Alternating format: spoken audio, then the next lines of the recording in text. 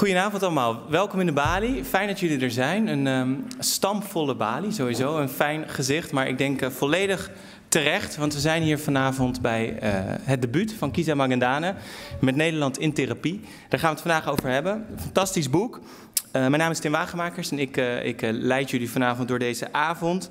Um, ja, we gaan het hebben over vragen als wat maakt een Nederlander, wie hoort er wel, wie hoort er niet bij, wie bepaalt dat überhaupt en hoe werken we aan een gezamenlijk Nederland. En de opzet van de avond is eigenlijk de route die ook in het boek zit. We beginnen persoonlijk met de weg naar Nederlanderschap, die Kisa heeft meegemaakt, maar ook uh, met verhalen van anderen. Vervolgens gaan we het hebben over politiek actief zijn in Nederland. Wat betekent dat? Wie hoor je wel in de politiek, wie hoor je niet? Kun je via politiek überhaupt Nederlanderschap vormgeven? Of ligt dat op andere plekken? En tot slot hebben we een tafel waarin we het gaan hebben over ja, toch ook wel de hoofdvraag, of eigenlijk de stelling, het is een stelling van Kisa, namelijk dat Nederland in therapie moet. Waarover? Um, um, dat gaan we zo meteen bespreken. Um, en, en, voor we beginnen, ik, ik ga toch even benadrukken, ik ben niet helemaal uh, onpartijdig vanavond. Ik bewonder Kisa namelijk enorm. Ik vind namelijk dat uh, Kisa iemand is, en dan ga ik toch meteen mijn kaarten op tafel leggen, die, ja, je komt hier al jaren in de Bali, je komt op heel veel plekken, die... die Interessant is omdat hij zelf nadenkt. En dat klinkt als een enorme open deur. maar ik bedoel er iets meer mee. Namelijk dat uh, ik vind uh, dat Kisa iemand is die nadenkt, reflecteert, goed luistert, nog een keer nadenkt en dan vervolgens zijn eigen visie heeft, zijn eigen visie neerlegt. En het boek is denk ik een mooie tussenconclusie of een conclusie van al die jaren dat je dat nu al doet. Um, terug naar de avond. We zullen heus niet alles behandelen. Het is een breed boek. Uh, we zullen misschien soms wat van de hak op de tak gaan, maar dat hoort er ook bij. Want als er één ding is wat ook in het boek staat, dan is het dat het zoeken en het praten met elkaar en het ritueel van samen zijn soms al genoeg waarde in zich heeft. Dus u komt ook nog aan bod aan het eind van de avond. Maar laten we vooral snel beginnen en dan wil ik eigenlijk gewoon meteen een daverend applaus voor de schrijver van dit boek, Kisa Magendana.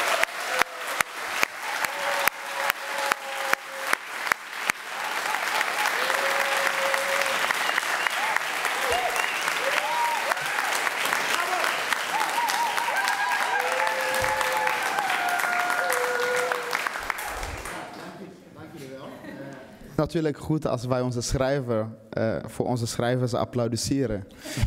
Net als we dat bij onze muzikanten en rappers doen. Dus dank jullie wel. Uh, ik, heb, uh, ja, ik heb heel veel zin in vanavond. Niet zozeer omdat het om mij gaat of om dit boek, maar ook omdat ja, ik mensen heb uitgenodigd die ik om allerlei redenen bewonder. Uh, omdat ik een balans heb geprobeerd te vinden tussen twee elementen die mijn boek kenmerken, zoals je dat zo jou zei, uh, team, het persoonlijke en het politieke. En als schrijver ja, vind ik het leuk om daarmee te spelen, om voorbij mijn eigen particuliere belevenis te kijken. En uh, ja, verbinding te zoeken met anderen. Ja. En, en, dat is denk ik wat ik in het hele boek uh, probeer te doen. En ik hoop dat we dat vanavond gaan doen. Ja, dat gaan we zeker doen. En het boek, uh, volgens mij komt er al een herdruk. Ja, klopt. Dus uh, de, de, de hele zaal is nog niet gelezen. Um, ja. Gefeliciteerd daarmee. Ik weet ook, het boek was een enorme. Uh, het, er was een periode overgaan, je hebt ermee geworsteld met het boek. Ja. Um, nu heb je het, nou ja, het ligt voor je. Ja. Uh, wat is dit voor jou voor moment? Nou, het, dit gaat heel heftig klinken, maar uh, dit boek is voor mij het bewijs dat ik een schrijver ben, die ik altijd ben geweest. Um, ik denk dat ik een autodidact ben, wat ik vertelde in mijn NRC-interview dit weekend. Ik ben niet in boeken geboren. Um, ik, heb, ik heb wel vrienden die in boeken zijn geboren, dus ouders die lezen en schrijven. Dus als autodidact en uh, proberen om dicht bij jezelf te blijven en toch um, de kans krijgen op een goede podium om je ideeën te ontwikkelen. Uh, dus dit zijn hele heftige dagen voor mij. Ik heb een column bij NRC. Dankjewel Peter. Waar is Peter? Oh ja, en Lotfi en René Moerland. Ja, ja, die had je al, maar het is nu een vaste column. Ik heb een vaste column en dat is geen grap. Uh, we hebben het nee, over, dat, uh, we, we hebben het over NRC hier. Ik heb dit boek bij Prometheus geschreven. Het is ook geen kleine jongen. Um, dus het zijn hele heftige ja. dagen voor mij en voor mij ook het bewijs dat ik, ja, dat ik een schrijver ben die ik altijd wilde worden. En dat is ook mijn boodschap. Als we het Mm. hebben over inspiratie, in mijn boek zeg ik, uh, maak ik een onderscheid. Als je echt een succesvol integratieverhaal wil, moet je gewoon het eerste deel lezen. En ik denk dat we behoefte hebben aan inspiratie. Dat je aan de hand van een persoonlijk verhaal kan zien dat het mogelijk is Ja, om je dromen te verwezenlijken, zolang je dicht bij jezelf blijft. ja, ja. Maar ik hoop dat het eh, daar niet bij blijft, want inspiratie kun je niet eten. Eh, uiteindelijk moeten we samen nadenken hoe wij dus burgerschap gaan eh, vormgeven.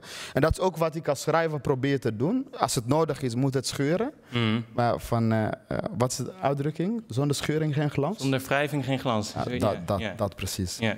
Dus ik hoop dat het mag scheuren en dat we uiteindelijk samen een gezamenlijke toekomst bouwen. Zeker. En, en dat gaan we ook allemaal doen. Tegelijkertijd, als je het hebt over schuring en het mag een beetje wrijven, dan, dan heb je ook bij jezelf dat gedaan in dit boek. En ik wil daar toch even mee beginnen, want ehm, jouw boek is inderdaad het eerste deel is jouw persoonlijke reis naar Nederlanderschap. Hè, vanuit eh, het AZC, hoe je vervolgens naar Amsterdam ging, maar eigenlijk nog daarvoor, het begint in Congo. Het tweede gedeelte van het boek is vervolgens hoe gaan we om met de ruimte die in Nederland er is. Ja. Hoe gaan we om je, je, je hebt er in een huis als metafoor en, Ja. en daarin zeg je wie mag er aan tafel meepraten, wie bepaalt er wat er op het scherm te zien is, Ja, wie kijkt er door het raam naar binnen en mag er niet bij horen.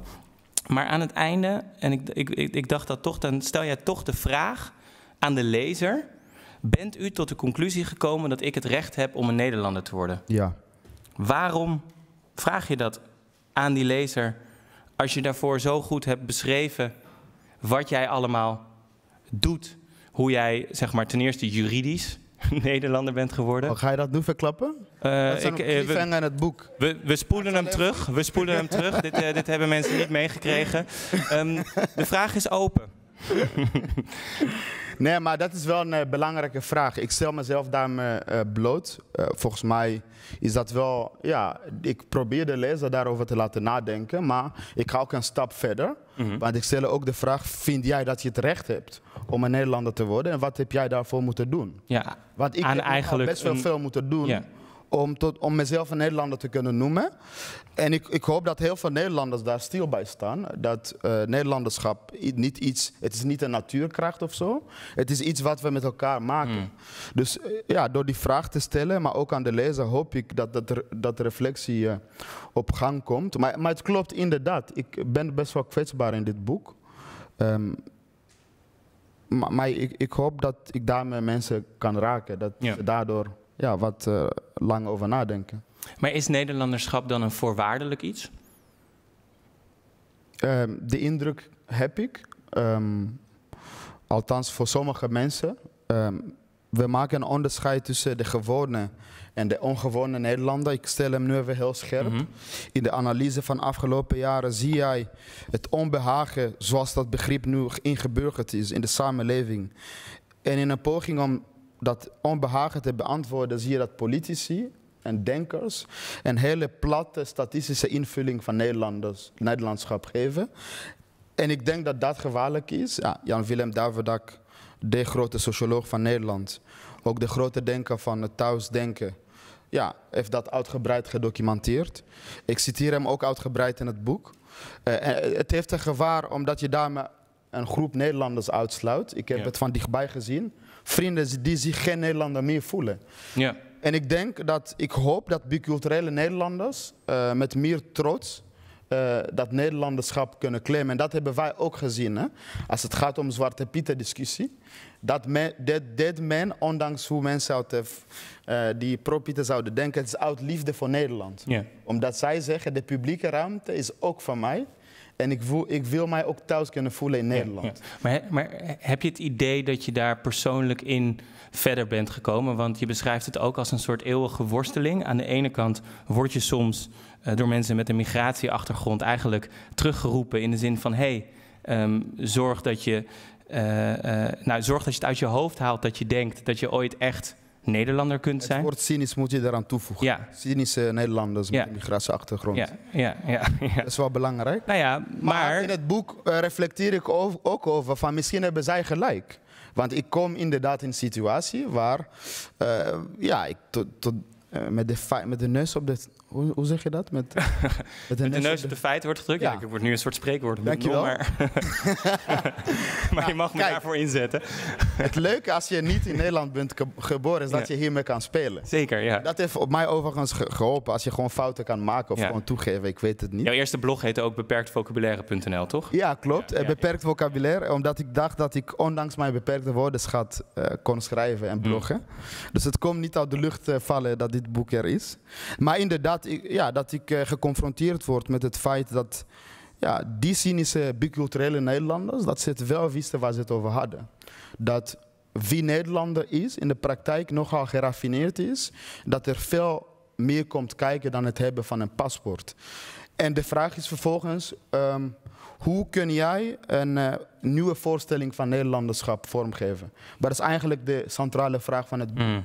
En ik maak het onderscheid tussen zich iets, iets vaststellen, dus die statische invulling van Nederlanderschap, en eh, zich iets voorstellen. Dat is iets heel anders. Ja, ja. Dat is veel opener en dynamisch. Het staat open voor nieuwe, ja, eh, nieuwe invullingen. En ik hoop dat we dus, dat, dat dat onze opdracht is. En, En en, een weg daar naartoe is natuurlijk een collectieve therapiesessie. ja, precies. Want, want dan raken we eigenlijk aan de kern van het boek, denk ik. Dat jij, als je Nederlanderschap ziet, dan zie je, en dat gaan we straks helemaal uitspinnen nog, hoe dat heel erg statisch wordt gedefinieerd. Met een, met, met, met een hang soms naar het verleden, met een hang naar wat wij denken dat Nederland is. En jij zegt, je geeft niet het antwoord wat een dynamische invulling moet zijn van Nederlanderschap. Maar je zegt, daar ligt de richting voor het antwoord. Yes, en het begint eh, met de erkenning van de complexiteit. Eh, van de samenstelling, de demografische samen- samenstelling en transitie van Nederland. Eh, niet heel uitgebreid, maar ik beschrijf ontwikkelingen zoals transnationalisme. Mhm. We hebben het gezien met de Turkse koep. Dat, dat je aan de ene kant in Nederland kan wonen met de ene voet. En met de andere voet in een land als Turkije, maar ook Congo. En dat, is- dat is de realiteit van nu. En het is niet per se iets, het is niet nieuw, het is altijd zo geweest. Eh, Nederlanders die naar eh, Amerika verhuisden hadden ook banden met Nederland. Maar met, door die globalisering is het steeds makkelijker dat mensen, ja, burgers, eh, dat ze meerdere identificatie hebben. En, ik, ik, en, en ik denk dat dat een van de centrale vragen is van onze politici. Niet zozeer in beleid, maar in, in denken en mentaliteit. Dat we bewust zijn van de complexiteit.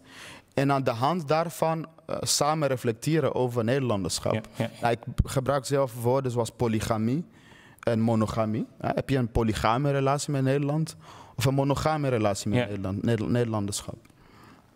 Ja, bij jou in de praktijk zullen wij zeggen: het team heeft een monogame relatie. Kan je ook niks aan doen? Nee, nee, nee. nee. Ja. Maar, maar, maar als ik het zo hoor. Maar, maar sorry, maar dan raken we toch aan de kern. Als, je, als ik het zo hoor zeggen, is het ook een gemis. Nou, niet zozeer, want Dan waarderen we de en, kracht ook niet van je identificeren met meerdere plekken. eh, dat is de, op, de oproep en de opdracht, denk ik. Ja. Eh, dus het erken, eh, een van de kenmerken van burgerschap is dat je aan de ene kant gelijk staat, gelijk bent voor de wet. Ja. Maar je, je bent ook verschillend. En eh, eigenlijk draait het om het erkennen van de verschillen. Mm. Dat sommige Nederlanders misschien meerdere verledens hebben. Overigens, alle Nederlanders hebben migratieachtergrond. Als je echt terug in de geschiedenis gaat. Dus het is heel curieus dat mensen zich beroepen op het hier geboren zijn. Ja, ja. Dus we zijn allemaal migranten, of ook migranten door de tijd. Ik eh, citeer Mohsin Hamid, die dat heel mooi zegt in Exit, Exit Waste. Dus de wereld is zo complex dat, en met corona hebben wij dat gezien, dat je de ene dag naar bed kan en de volgende dag wakker wordt in een wereld die totaal verschilt. ja, ja. Waardoor je het gevoel van vervreemding ervaart. Dus het erkennen van de complexiteit en het, dat, het feit dat we niet per se hetzelfde zijn om een huis samen in te richten. Overigens, dat metafoor van het huis, ik hoop dat we daarover kunnen praten. Zeker. Ja. De problematische aspecten daarvan. Nou, we hebben de grote socioloog, Jan Ja, maar-. Die gaat het ons uitleggen. Maar als je hem nog drie keer de grote socioloog geeft, wordt het Ja. voor hem wel heel moeilijk om kritisch te zijn op jouw metafoor. Ja, sorry. Ja. We, we kunnen Dus daar niet, moeten eh, we maar even mee. Ik, ik wil nog één ding vragen en, en, en, en, en dan gaan we door. Dat is namelijk, we hebben al een hoop eh, concepten behandeld uit jouw boek. Ehm, maar eh, één concept is, jij maakt je ook zorgen om hekjesdenken. Ja. En dat zet je naast hokjesdenken. Kun je nog heel kort uitleggen wat het verschil daartussen is? Nou, hokjesdenken is natuurlijk heel eh, normaal en, en menselijk. Uh, hekjesdenken is iets heel anders. Dat bewuste plaatsen van hekken tussen mensen, omdat zij anders uitzien omdat ze een andere geschiedenis hebben of omdat ze een ander standpunt hebben. Ik zie het gebeuren in het publiek debat en ik, ik denk dat dat gevaarlijk is Mhm. als je andere mensen gaat ontmenselijken. ontmenselijken. Dus eh, mijn boek is ook, of de therapiesessie is eigenlijk ook een poging om dat hekjesdenken te doorbreken. Dus eh, twee krachten kun je zeggen, illustreren dat hekjesdenken. Dat is racisme. Nou, voor eh, heel veel Nederlanders is in de loop der jaren duidelijk geworden dat wij ook lijden aan institutioneel racisme, maar ook culturalisme, waar ook voor mijn ogen islamofobie onder valt. Maar die twee dingen hangen samen. Ehm, en ik denk dat we dit soort krachten, dat we de onderhoudse emotie moeten begrijpen, Ja. waarom mensen zich eh, roekeloos eh, en harteloos gedragen ten opzichte van de ander. Ja, dus als ik, Achter iedere lelijke emotie eh, schuilt iets. En ik denk dat een therapie een goede methode is om te weten wat zich eh, op de oppervlakte speelt. Nou, ik heb natuurlijk niet het antwoord gegeven, maar ik heb bijvoorbeeld Tanja Jatnanansin eh aangehaald. stadsdeelvoorzitter Zuidoost. Ja, een oud-Kamerlid voor de PvdA die het LEF-methode met haar scholieren heeft ontwikkeld toen ze Kamerlid was, rondom polarisatie. En LEF staat voor luisteren naar wat iemand te vertellen heeft. Empathie tonen, dus jezelf in de ander kunnen verplaatsen. Maar ook feedback, wat het met jou doet. Een eerlijk gesprek. Een eerlijk gesprek. Ja. Het is een simpele basis, maar ik kan mij voorstellen dat er allerlei methoden zijn. En het is ook een oproep in het boek Ja. om, eh, om die collectieve therapiesessie eh, op gang te brengen. Nou, volgens mij moeten we dat vanavond gaan doen. En is het een geslaagde avond als we voorbij dat hekjesdenken kunnen komen. We gaan eh, mensen zo meteen naar voren vragen. Zometeen schuift meteen aan onderzoeker en docent aan de Universiteit Utrecht, Abdoulaye Abdurrahman Abdallah. Maar eerst gaan we luisteren naar dichter, singer, songwriter en spoken word artiest Jurgen Gario, die ons vanavond drie keer mee gaat nemen naar een eh, post-apocalyptisch toekomstbeeld. Geef hem een warm applaus.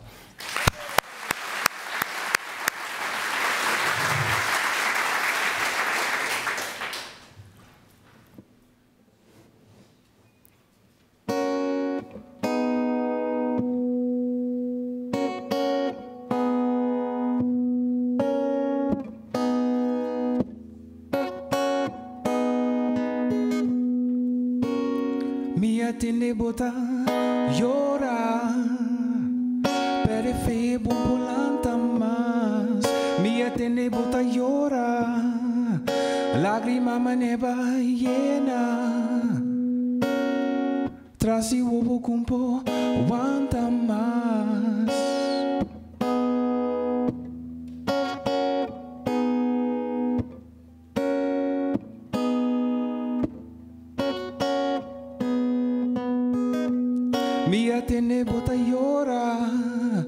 Pidi Dios duna tempo paz. Mia tene bota llora. Busca Bible bom hanya Wag dem bo alma bota queda klar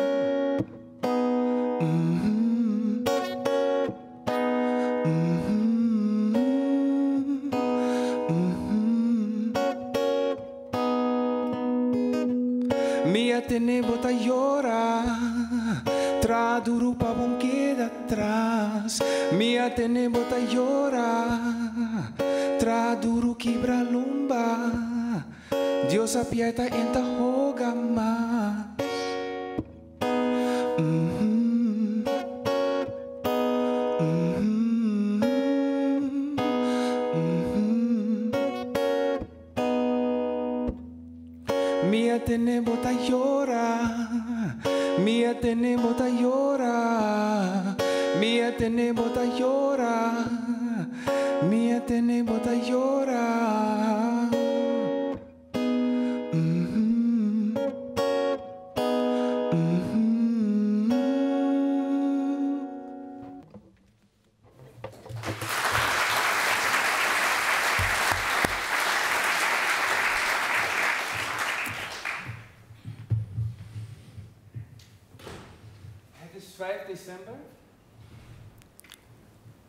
is 5 december.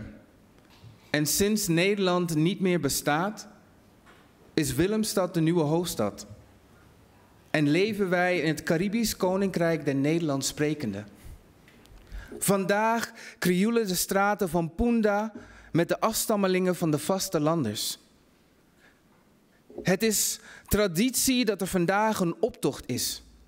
Normaal gesproken zijn ze allemaal aan het werk op de algenboerderijen aan de kusten van het Amerikaans continent. Of zijn zij op reis handel aan het drijven in oud-Nederlandse producten zoals snert, stroopwafels en Heineken. Tijdens de grote migratie van West-Europa is de EU uiteengevallen. Na de ramp groeide de angst voor het instorten van een eigen binnenlandse economie. En daarom was het laatste besluit van de Europese lidstaten om de grenzen te sluiten. Europeanen hadden geen Fort Europa meer.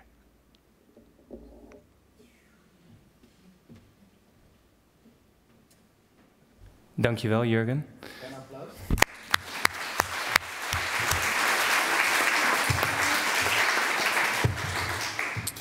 Dat was deel 1, zometeen deel 2 en deel 3. Um, we zitten aan tafel met uh, Abdullah. Kiza, waarom wilde jij...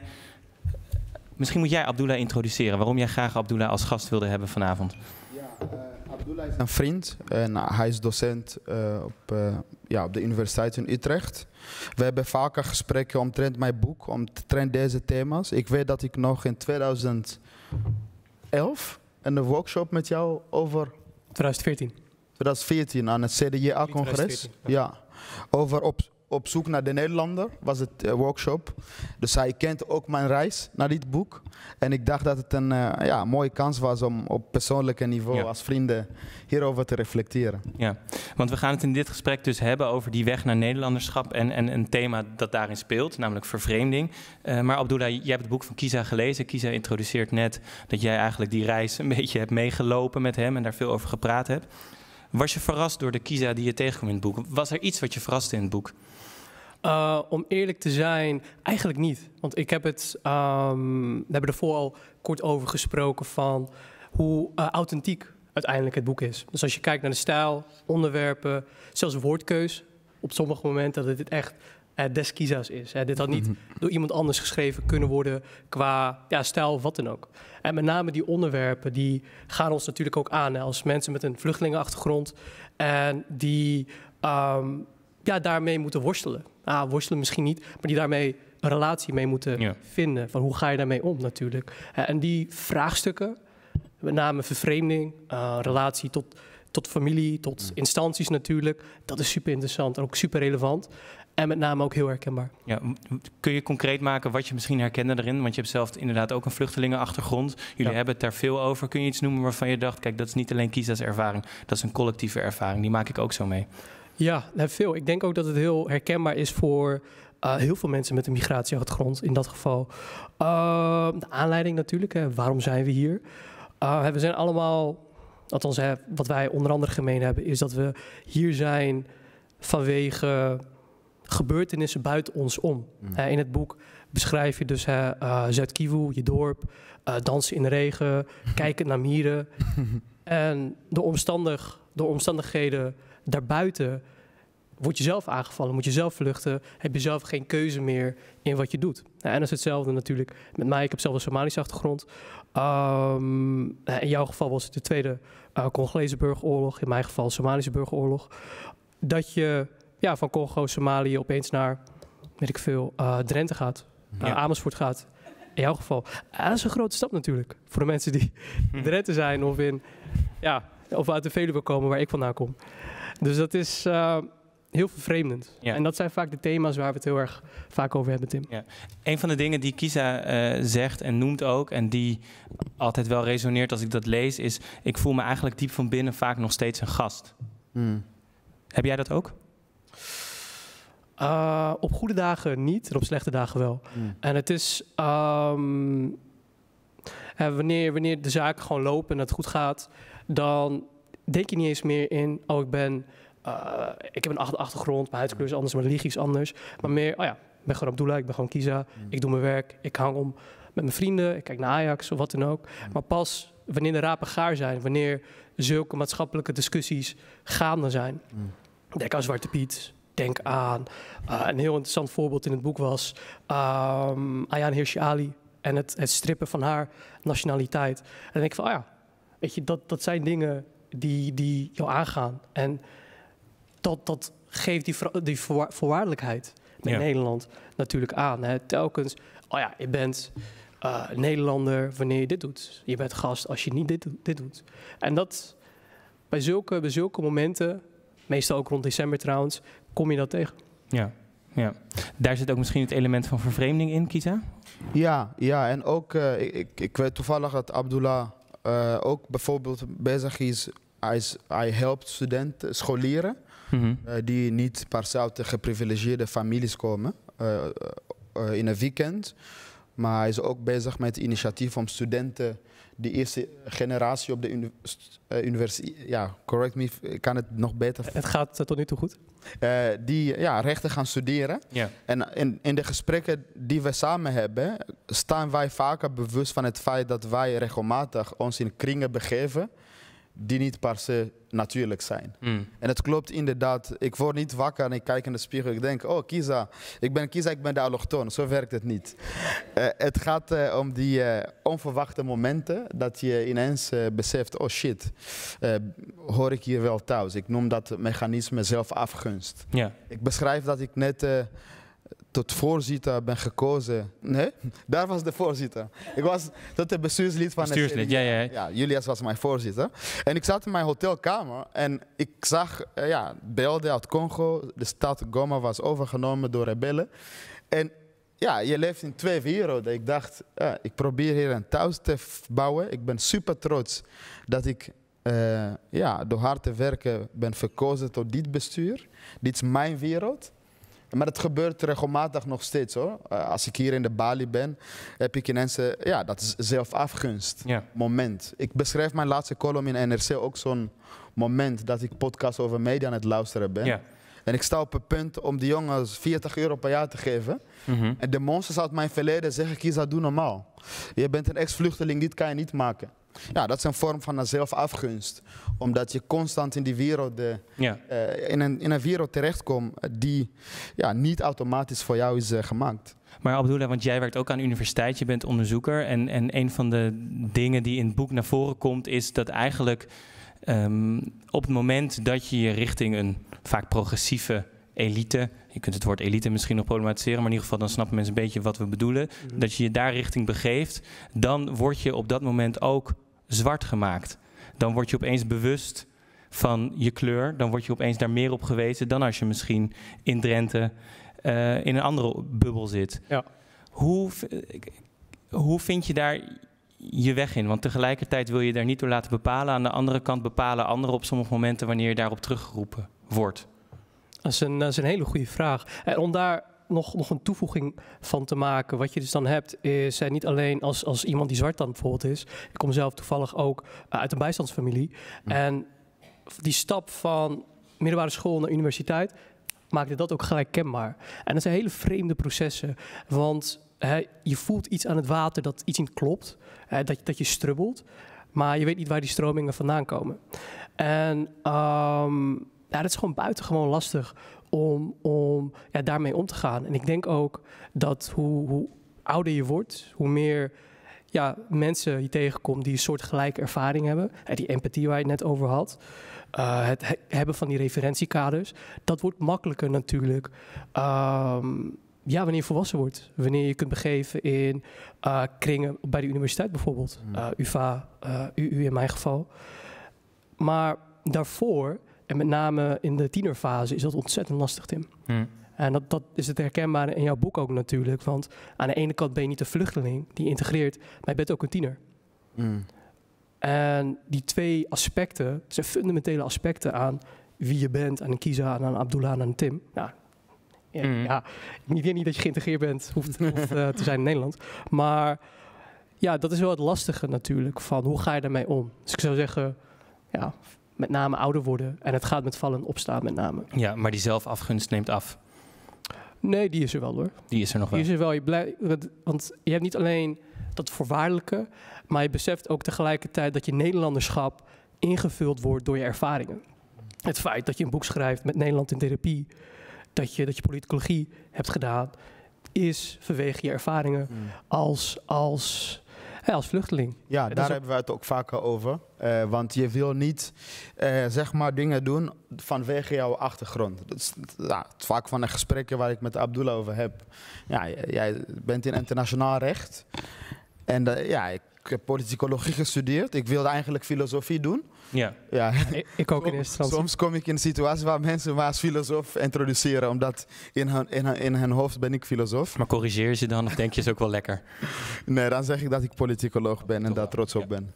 Ja. Maar eh, ja, je ziet dat de achtergrond die je hebt. eh, ik, eh, ik, ik heb nu de neiging om een boek te schrijven over hoe ik zwart werd in Nederland. Maar waarom eigenlijk? Waarom zou ik niet een reflectie over Shoshana Zuboff eh, bijvoorbeeld schrijven, over CVN's kapitalisme? Dus je ziet dat de pro- achtergrond. Maar probeer dat eens te beantwoorden. Ja, ik, het is, ik ben zoekend, team. Daarom Ja. wil ik daar een boek over schrijven, denk ik. Ja. Ook het, eh, eh, maar ook in de spiegel durven kijken. Maar dit is een van de gesprekken die wij hebben, hoe onze verleden ons gijzelen eh, in eh, onze studiekeuzes, in, eh, ja, in zelf of wij onze podcast, onze lievelingspodcast kunnen Ja. eh, steunen. En of, of wij op een podcastfeestje kunnen gaan. Dus je komt constant in een situatie waar een stemmetje in jouw hoofd zegt: Ja, jij hoort dit te doen. Ja, ja, ja. En, en dat is niet makkelijk. eh, daar ben ik eerlijk over.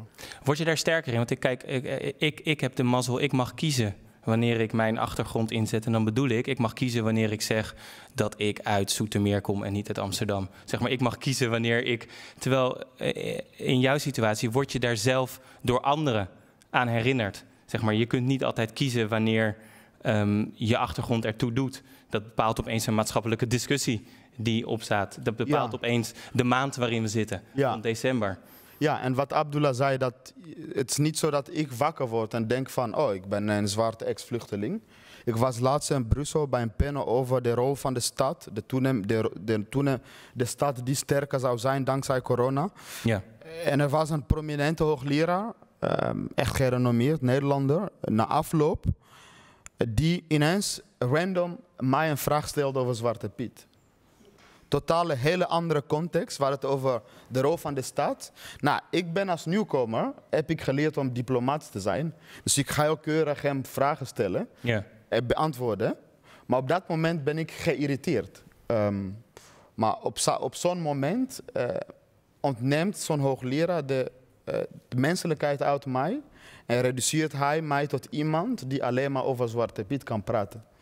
Ja, dus dat is een hele lastige situatie. Dus je moet constant schakelen en weten wanneer je wat zegt, wanneer je wat gaat slikken. Dus je bent constant. Het is een emotionele arbeid dat je aan het verrichten bent. Ja. En maar misschien tegelijkertijd is dat, eh, sorry Abdullah, tegelijkertijd is dat de realiteit. Het is een lot. Daar kan je niks aan doen en daar kan je mee spelen. Of sterker nog, je moet daarmee spelen. Abdullah? ook- Nee, precies. Ik ben er 100% mee eens. En wat je dus dan ziet, is eh, die, die, die splitsing. Hè, van aan de ene kant, je bent daar in Brussel als professional. Maar toch word je vanuit zo'n perspectief benaderd. En in zo'n context ben je, is het geen amicale situatie, is het niet vriendschappelijk, maar is gewoon professioneel. En dat is wel extra zuur dat je dan zo bekeken wordt. Hè. Dat, dat doet dat professionele, al het werk. En de expertise doet dan teniet. Ja. Dat is heel pijnlijk altijd. Dat is heel vanwege al het werk wat je doet. Vanwege de reis, de on- het onderwijs eh, en de weg die je dan aflegt om dan toch tot zo Ja. ja. En, en, worden. en dat komt ook, ik, ik maak in mijn boek onderscheid tussen de private kringen, de binnenkamers en de publieke ruimte. Wat je dus heel veel hebt in Nederland, Annie Ram, dat zei het heel mooi zijn Socratische lezing uit 98, dat vriendschap is echt een voorwaarde voor integratie. Het is zo bizar dat Nederland diverser wordt, dat Nederlanders Nederland verlaten om op zoek te gaan naar nieuwe ervaringen. Heel bizar. Je kunt die ervaringen binnen Nederland vinden, binnen vriendschappen, maar ook liefdesrelatie. Dus zo'n hoogleraar, hoe gerenommeerd ook, kennelijk heeft hij niet vrienden die mijn huidskleur he- he- hebben. Dus voor hem was het een unieke kans om met iemand daarover te praten. Ja. Dus ik moet emotioneel arbeid verrichten gratis, omdat hij ja. dus geen mensen kent over wie hij dat soort ervaring. Dus dat, daar, daar hebben veel biculturele Nederlanders mee Ja. te maken. Naida hè, heeft daar ook een boek over geschreven... waar ze allemaal van dat soort situaties beschrijft. 365 dagen, wat daar gebeurt. Misschien tot slot, eh, Abdullah, eh, die gesprekken die jullie hebben... waar zijn jullie het nou echt over oneens? Of, of, of hebben jullie altijd hele Goeie. gemoedelijke... Z- Zijn we het ooit on- oneens, Kiezer? Nee. Nee, het is ook wel een saai gesprek natuurlijk. Uh, we hebben twee Ik mensen ben, die samen wel, ik ben wel echt publiek. Eh, ik, ik leef voor het schrijven en eh, de zaal. En Abdullah is iemand die achter de schermen dingen doet. Ja. Eh, dus wat ik vertelde, wat hij doet met leerlingen, eh, Ja. zijn studenten. Ja, het is een andere rol. Ehm, en ik eh, mag soms lelijke dingen ontvangen. Dat hoort bij risico van het vak. Ja, ja. En hij krijgt niet de lof die hij altijd verdient. Daarom ben ik blij dat hij hier is. Nou, bij deze. Dankjewel, man. Dankjewel, Abdullah. Ga lekker weer zitten. Ja. Ja, en terwijl zometeen eh, twee politici naar voren komen, namelijk lijsttrekker van CDA Leiden, Julius Sterpstra, en de fractievoorzitter van de PvdA eh, in Den Haag, Mikal Tsegai, gaan we eerst weer luisteren naar Jurgen Gario. Geef hem een warm applaus.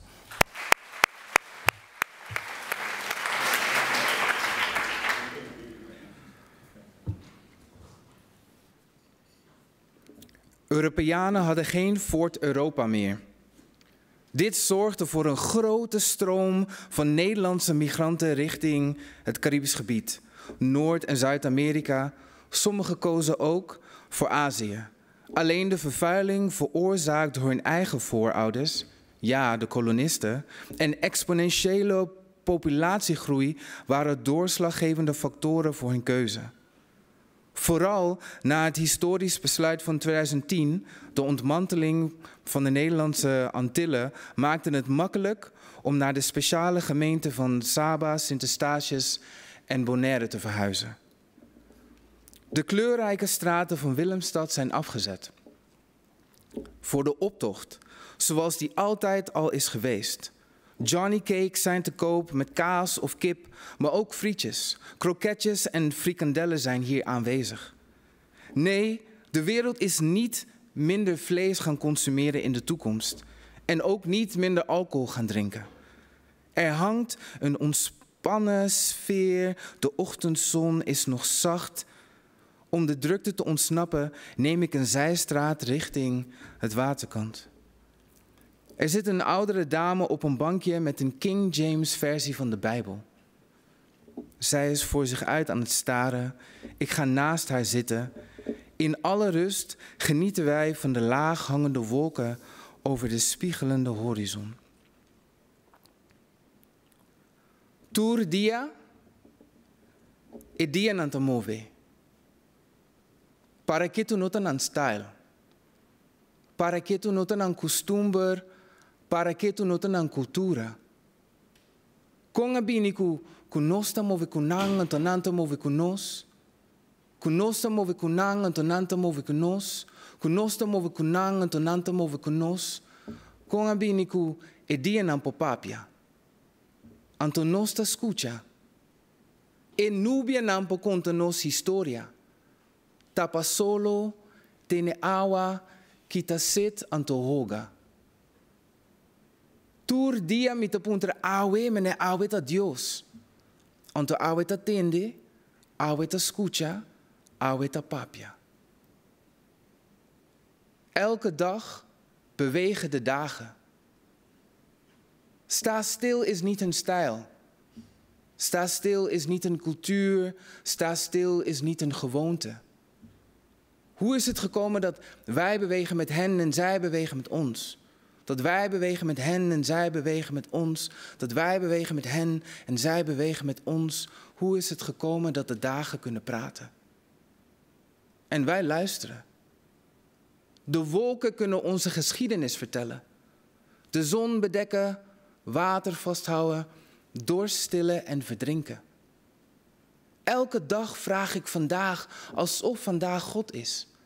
En vandaag hoort, vandaag luistert, vandaag praat.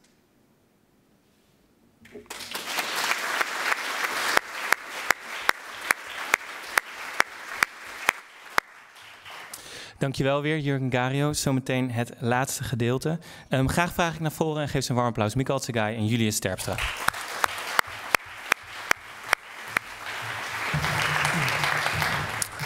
Ja, want in dit gesprek gaan we het hebben over eigenlijk politiek actief zijn in Nederland. En hoe dat past binnen de thema's die we bespreken. Hè? Hoe bouw je nou, of welke rol heeft de politiek misschien wel... en hoe vullen jullie dat persoonlijk in als politicus... in het werken aan Nederlanderschap en burgerschap? Uh, misschien, uh, Mikael, als ik met jou begin. Fractievoorzitter PvdA in Den Haag. Um, Kisa beschrijft in zijn boek dat politiek actief zijn geworden. Hè? Je bent politiek actief geweest bij de jongere partij van het CDA, bestuurslid. Julius was de voorzitter daar. Um, als een manier ook om zijn burgerschap in te vullen. Als een manier om te zeggen, ik... Um, ja, misschien heel kort. Ja, heel als, kort iets over hoogste toelichten. vorm van politieke participatie. Als, hoogste vorm van politiek. Of, ja, hoogste vorm van participatie in de samenleving is politiek actief ja. worden.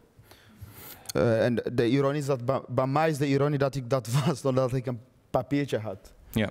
Um, maar dat zo beschrijft, zo, dat is een stelling in het boek. En uh, het, met pijn in mijn hart zie ik dat de afstand tot politieke participatie bij de nieuwkomer nog veel te zoeken is.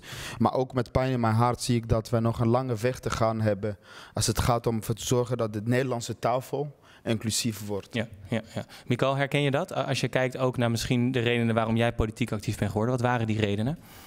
Um, ja, mijn ouders zijn uh, vluchteling. Die zijn hier uh, als, ja, voor de oorlog eigenlijk gevlucht uh, naartoe met Ethiopië.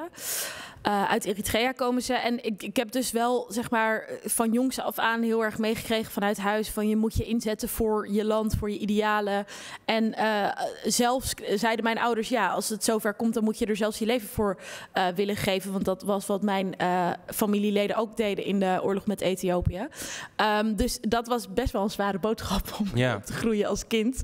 Um, maar grappig genoeg, ja, ik ben ook niet geboren tussen de boeken. of in een familie van, uh, uh, die, waar, waar, iedereen lid was van een politieke partij. Um, maar toch had ik wel dat idee van ja, als je idealen hebt, dan moet je ze ook uh, ja, proberen te verwezenlijken. Ja, ja. Julius, hoe, hoe, was dat voor jou? Want eigenlijk hebben we aan tafel mensen die allemaal via de structuren van de partij eigenlijk politiek actief zijn geworden. En dat is natuurlijk een van de manieren om politiek actief te zijn in Nederland. Waarom ben jij politiek actief geworden?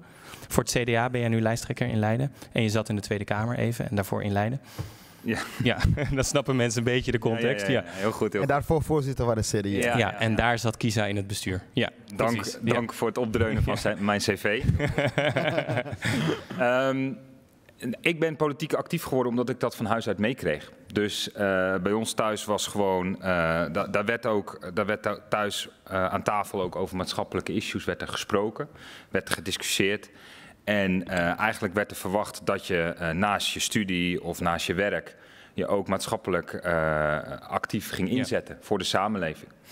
En daar had ik in het begin niet zo heel veel zin in, want ik vond het vooral leuk om te gaan studeren en vrienden te maken en mm me daar een beetje aan te onttrekken.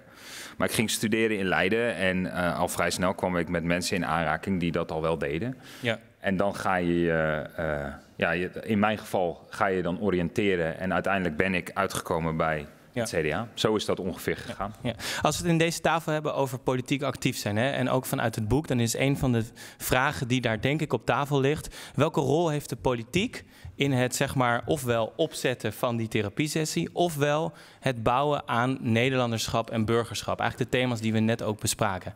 In hoeverre heb jij het idee, Mikael, dat die centraal staan in politiek of dat die terugkomen? Je hebt het boek van Kisa gelezen. Ja, um, nou, ik denk dat de politiek eerst met zichzelf of dan wel elkaar hierover in therapie uh, moet. Want eigenlijk zie je uh, bij ons in de Haagse gemeenteraad gebeuren wat hier. Um, uh, wat in de, ja, in de hele Nederlandse samenleving ook gebeurt. Um, ik had bijvoorbeeld zelf uh, vanaf dag één dat ik in de Haagse gemeenteraad uh, zat heel goed door dat alleen al het feit dat ik daar was en dat ik me tegen bepaalde um, dingen aan kon bemoeien een politiek statement uh, was. Ja. Um, maar dan bedoel je eigenlijk de representatie? Dat, nou ja, dat, dat is al. In de eerste maanden dat ik raadslid was, hadden wij een hele grote er was ophef, laat ik het zo zeggen, over uh, racisme in Duindorp. Dat is mm. een uh, wijk in Scheveningen. Um, en ik was woordvoerder integratie, racisme, ja, ja, ja.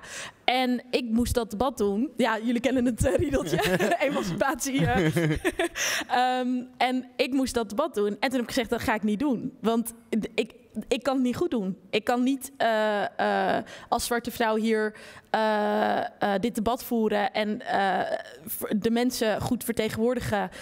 Um, want ik kan het niet goed doen. Alleen al het feit dat ik zwart ben en daar zit en een debat voer over racisme in Duindorp. Ja. is gewoon, ik zou bijna willen zeggen, levensgevaarlijk. Ja. En ik was net een paar maanden raadslid, dus ja, ik, ik durfde dat niet aan. Maar dan raak je eigenlijk aan een fundamenteel thema, namelijk hoe veilig is de politiek voor een, divers, een diverse groep politici om daar actief te zijn. Want jij zegt het, het, het, het- je zegt het lachend, maar het is gevaarlijk om daar het woord te voeren, want ik kan het toch niet goed doen op dat Ja. moment.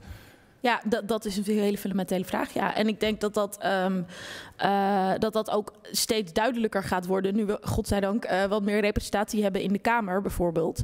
Ehm, zie je dat, dat mensen. eh, bepaalde ra- raadsleden, Kamerleden ook gewoon meer bedreigen dan andere Ja. Volksvertegenwoordigers. Kiezen? Wat ook eh, relevant, Mikael is ook een vriendin, dus we hebben ook uitgebreid gesprekken, onder andere hierover.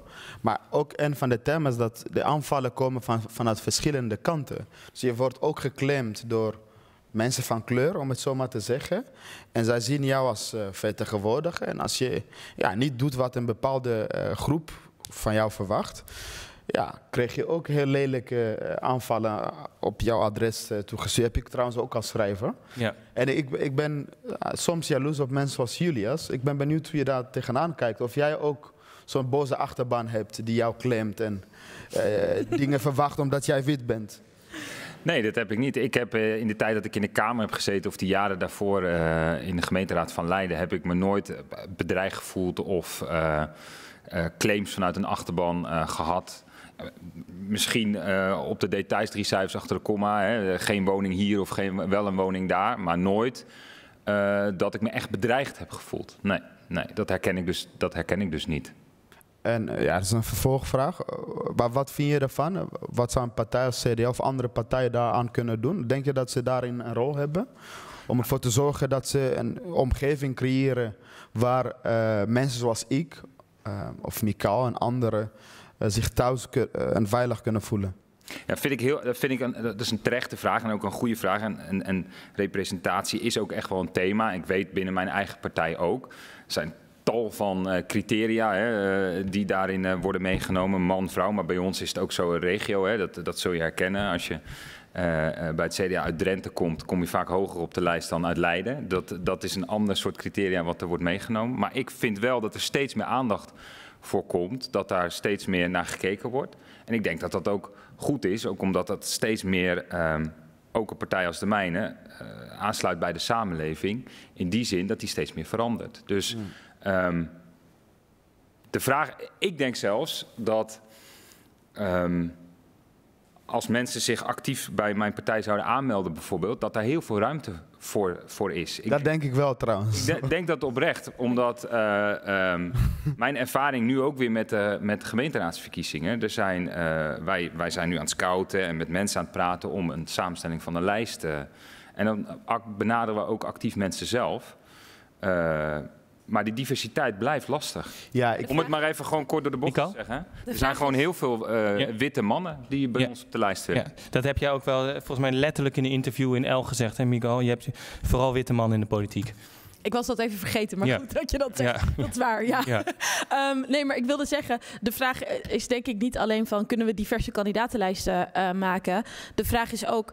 Ehm, kunnen we eh, eh, ook de wethouders die we leveren eh, ervoor zorgen dat, die, dat dat een diverse club mensen is? Maar vooral kunnen wij onze politici als partij ook een veilige omgeving bieden? Ehm, en ik denk, jij had het net over wonen. Jij bent woordvoerder in wonen in Leiden, volgens mij, hè, van jouw fractie. Ik ben dat ook. Eh, op welke thema's laat je ook raadsleden of eh, volksvertegenwoordigers van kleur meepraten? Dus ik merk heel vaak ehm, dat, er, eh, dat er een soort neiging is die zegt van nou, hou jij je maar even lekker met integratie bezig en wonen, dat doen wij wel, zeg maar.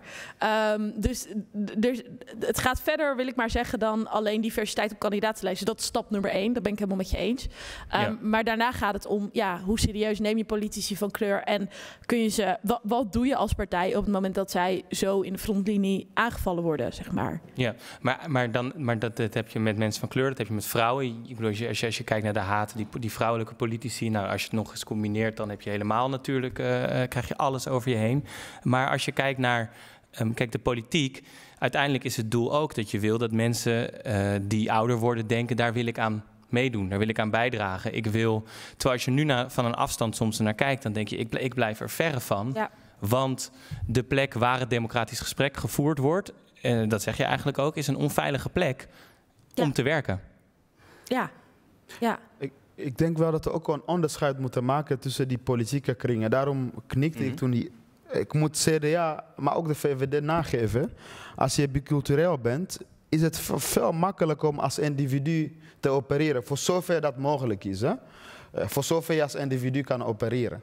Want we hadden net over dat je moet navigeren tussen jouw achtergrond en eh, ja, de thema's of het hokje waarin je geplaatst wordt.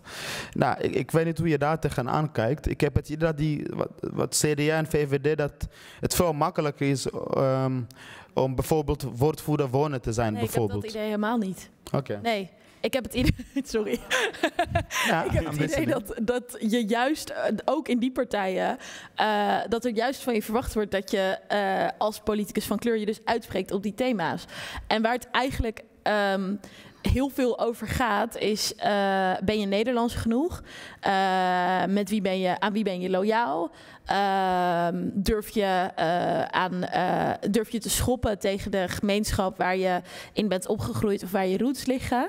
En eh, voor mijn gevoel is hoe verder je naar rechts gaat, hoe zwaarder die vraagstukken wegen. Hoe verder je naar links gaat, hoe meer het wordt van eh, ben je wel woke genoeg en heb je wel een eh, achterban. eh, die, dus aan de beide uitersten zitten bepaalde vraagstukken en hokjes die je opgelegd worden en waar je ingeduwd Kan je als wordt. zie het voor je, het ideaal van een individu? Is het denkbaar?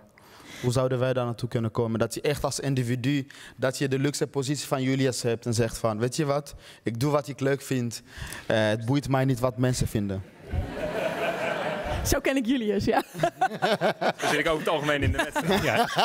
Ik heb net jouw cv verteld en nu krijgen we alle ambities. Waar, ja, ja. Ehm, ja, als er ge- de, ik- dat gebeurt pas als, als er ook genoeg mensen van kleur in de politiek zijn. Waardoor je ook niet je als politicus van kleur de hele tijd genoodzaakt voelt om, eh, ehm, Ja.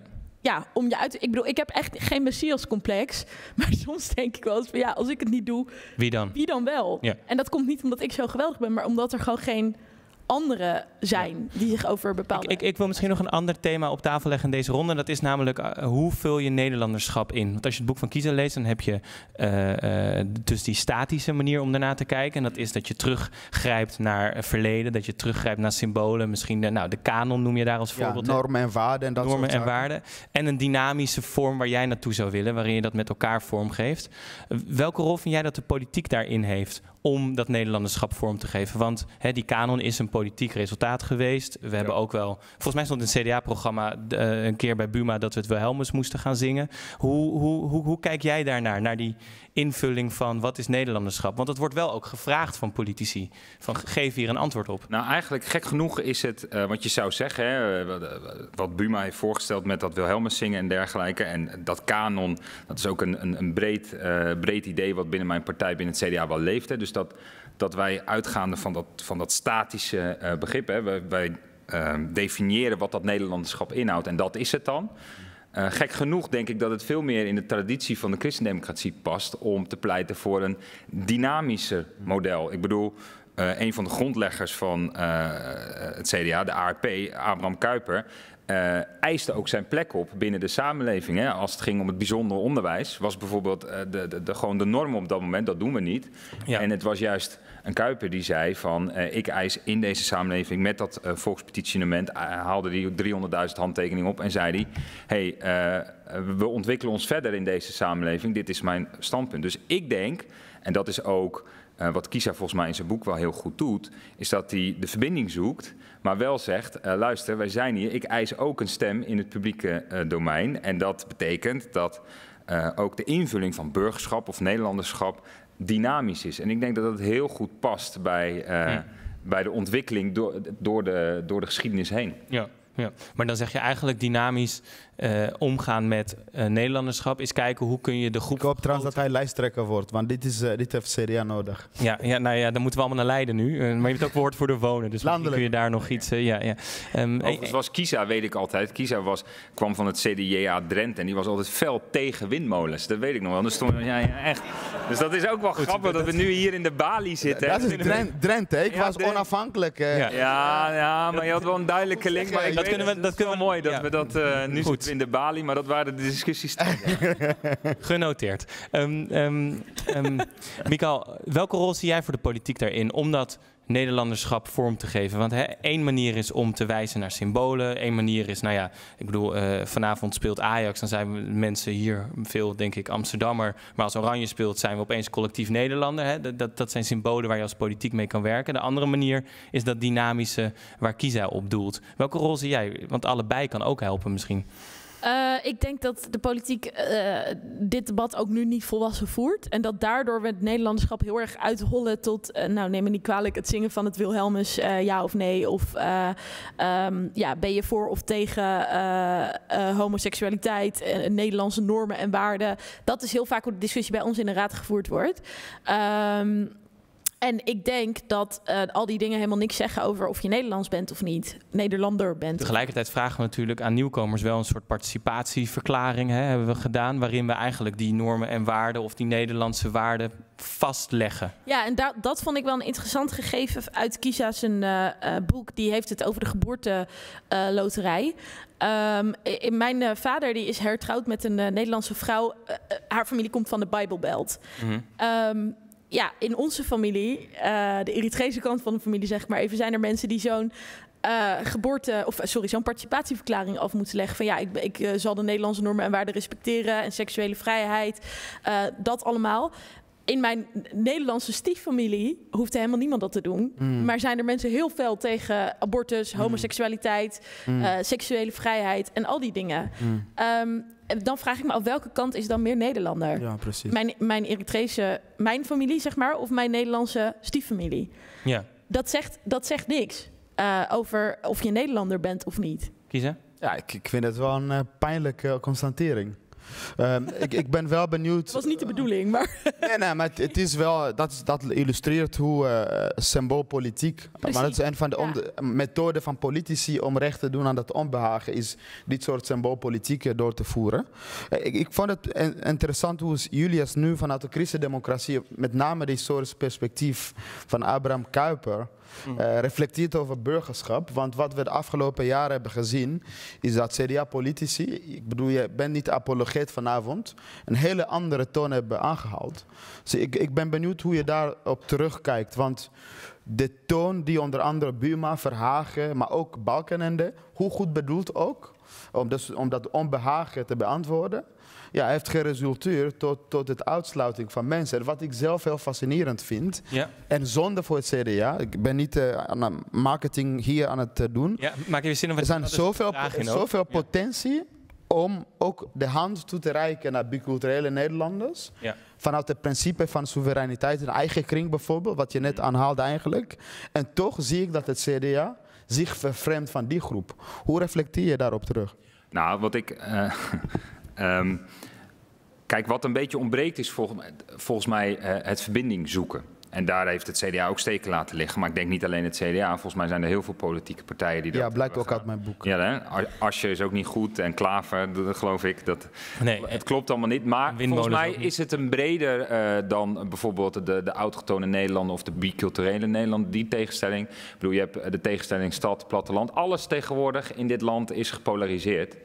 Um, en volgens mij is het juist een opdracht aan de politiek om uh, die polarisatie wat los te laten. En dat zou ik ook met name uh, voor, voor traditionele middenpartijen. Maar, maar, maar als ik Kisa hoor, en corrigeer me als ik het niet goed zeg, dan is de vraag eerder in het verhaal wat het CDA de afgelopen jaren heeft verteld via uh, Verhagen, Buma, uh, Balkenende, dan is dat het verhaal geweest van een specifieke groep Nederlanders en hoe die Nederland vormgeven, waarmee ze ja. automatisch ook een andere groep zich niet lieten herkennen in dat verhaal en in die zin buitengesloten voelden. Ja, nou, ik denk. Uh, de islamofobe sausje soms.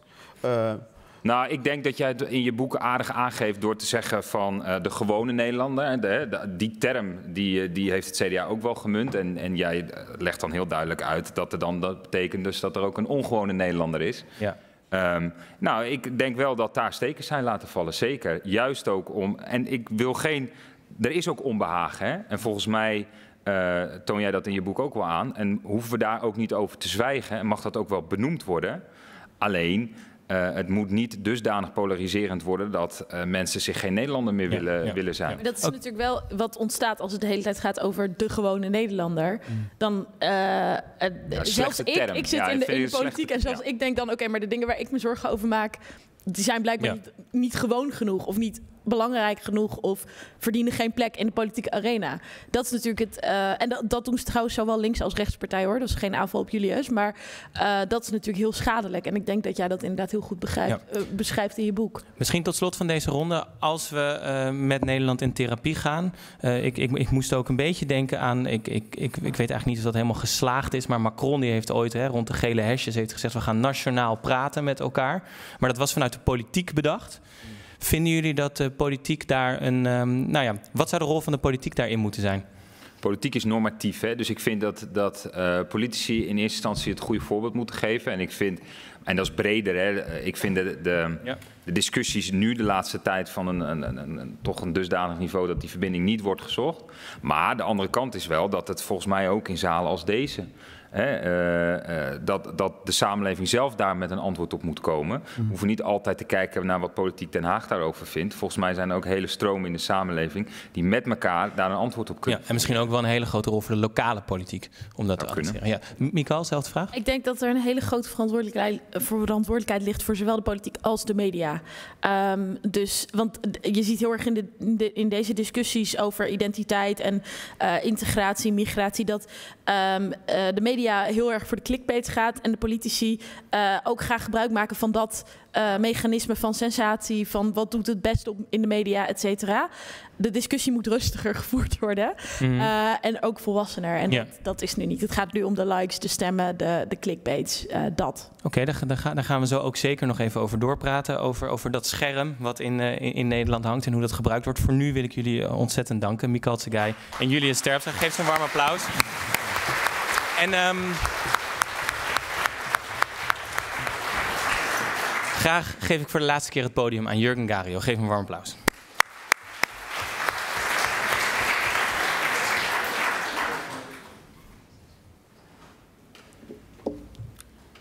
Vandaag praat.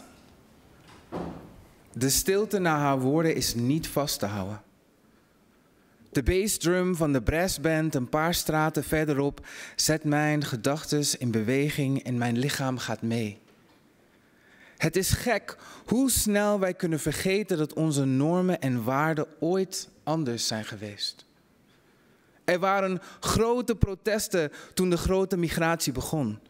De voormalige Nederlandse Antillen eisten eerst een naamsverandering voordat er ladingen vastelanders de eilanden thuis mochten noemen. Ik ben hier en niet daar. Ik ben hier en nimmer meer daar. Met mijn nieuwe naam, nieuwe maan en onbetaalde baan. Hier leer ik zwijgen over mijn toekomst en zij leren praten met de zweep. Mijn rug is een alfabet van ongehoorzaamheid. De zon is mijn toeschouwer. Flora maken met mijn eerste moeder. Ik ben beeldhouwer. Orthopedagoog en één krachtige spier van hoop. Trots die ongeketend in vrijheid leeft. Mita perdonabo, pero mi no polubida mi historia. Ponopo cambie se mas. Vrijheid gekocht, zij zien mij niet als mens, want men kan niet zien wat het zelf niet is. Zo trachtte jij anderen gevangen te houden die vol zijn van wat jij nog steeds mist. Maar voldoening was niet te verkrijgen met de misdaad tegen de mensheid. Ook al werd ik geruild voor een verdienstelijke prijs. Mita perdonabo, pero mi no mi historia. Ponopo cambie se mas. Als zoon van de Antillen heb ik een boekenkast vol met Nederland. Maar ben ik zelf het verzwegen bloed in het zand vervreemd van mijn eigen eiland. Geboren, getogen en één met de kennis. Ik ben de slaaf achter de gouden koets die schoenen poetst, enkels en polsen jeuken van de roest. Vanavond vertel ik de Nederlandse natie, mijn ziel is de hoeksteen van de gouden eeuw. Mijn rug is de brug tussen Europa en Afrika. Ik eis reparaties in de naam van Martina, Martes, Kirindongo, Felipa, Rafaela, Onofra, Ignacia, Steba, Enriquez, Seintje, Gietesen, Oleanda, Yanga, Wanga, Arion, Martinez, Juliane, Cecilia, Margarita, Valencia, Benedita, Peterson, Richardson, Joe, Louis, Zimmerman, Kova, Bigilia, Boekhout, Antonia, Tomasa, Manuela, Tielman, Ashes, Hercilia, Pitanella, Celestine, Davela, Ortega, Jansen, Gijsberta, Hooi, Aniseta, Kleinmoedig, Clemencia, Koeiman, Koiman, Pinedo, Van Nijter, Obispo, Carolina, Sambo, Montroos, Paulina, Balinteng, Anita, Elisabeth, Constantia, Vrutal, Maria, Marta, Albertus, Matthäus, Felix, Cleofa, Dorang, Willem en veel meer. Ik vergeef u, maar mijn geschiedenis kan ik niet vergeten. De toekomst kunnen wij samen veranderen. Ik schenk u genade. Wij wilden zekerheid hebben. Ku nunghende lobing manda na nos lugar. Vrij vertaald, zodat niemand de leiding zou nemen over ons land. Zo klonken de leuzen van de wekenlange demonstraties op Curaçao, Aruba en Bonaire. Op Sint Maarten waren er nog grotere spandoeken met No colonization, never again. No colonization, never again. We have the only land. Now give us the power. We have the only land. Now give us the power. Ja, vooral op Sint Maarten ging het in de eerste jaren er heftig aan toe. Er werden grote protesten gehouden bij het Prinses Juliana International Airport. Er werd zelfs door de lokale politie een controlepost geïnstalleerd en de enige weg van en naar het vliegveld werd standaard gecontroleerd op vaste landers. Er werden veel mensen uitgezet die met valse papieren illegaal aankwamen op bootjes vanuit verschillende delen van Amerika en de drijvende steden gebouwd op zwerfplastic in de Atlantische Oceaan. Nee, het lijkt niet op de film Waterworld. Deze drijvende steden zijn geen luxe piratenparadijzen. Het zijn bestemmingloze vlotten met levens die geen voet aan de grond kunnen zetten. De bewoners horen nergens meer bij en het is een wereld waar de zee geen horizon heeft. De zon op de zeespiegel vormt een gevangenis van licht. Het enige wat deze mensen zien zijn de sterren. Het interim kabinet van de vastelanders moest een besluit nemen en snel. Merendeel van de lijst van voorwaarden die door het collectieve Antilliaanse bestuursorgaan is samengesteld, is staatsgeheim om niemand in verlegenheid te brengen. Zodoende veranderde de naam van de Koninkrijk der Nederlanden naar het Caribisch Koninkrijk der Nederlands sprekenden. Erkenning van een machtsverschuiving was essentieel onderdeel van de acceptatie rond de grote aantallen Hollanders, Friezen, Brabanders, Limburgers en Oosterlingen die naar de eilanden trokken. De eerste generaties hadden het zwaar. Het is nog steeds voelbaar. De tijd geneest niet alles. Gelukkig gaf het wel inzicht. Het gesprek van vandaag, 5 december, wordt gedomineerd door de nieuwsgierigheid. Hoe zal de optocht er dit jaar eruit zien? Wij weten dat er elk jaar iets aan zal veranderen, maar wat precies weet niemand.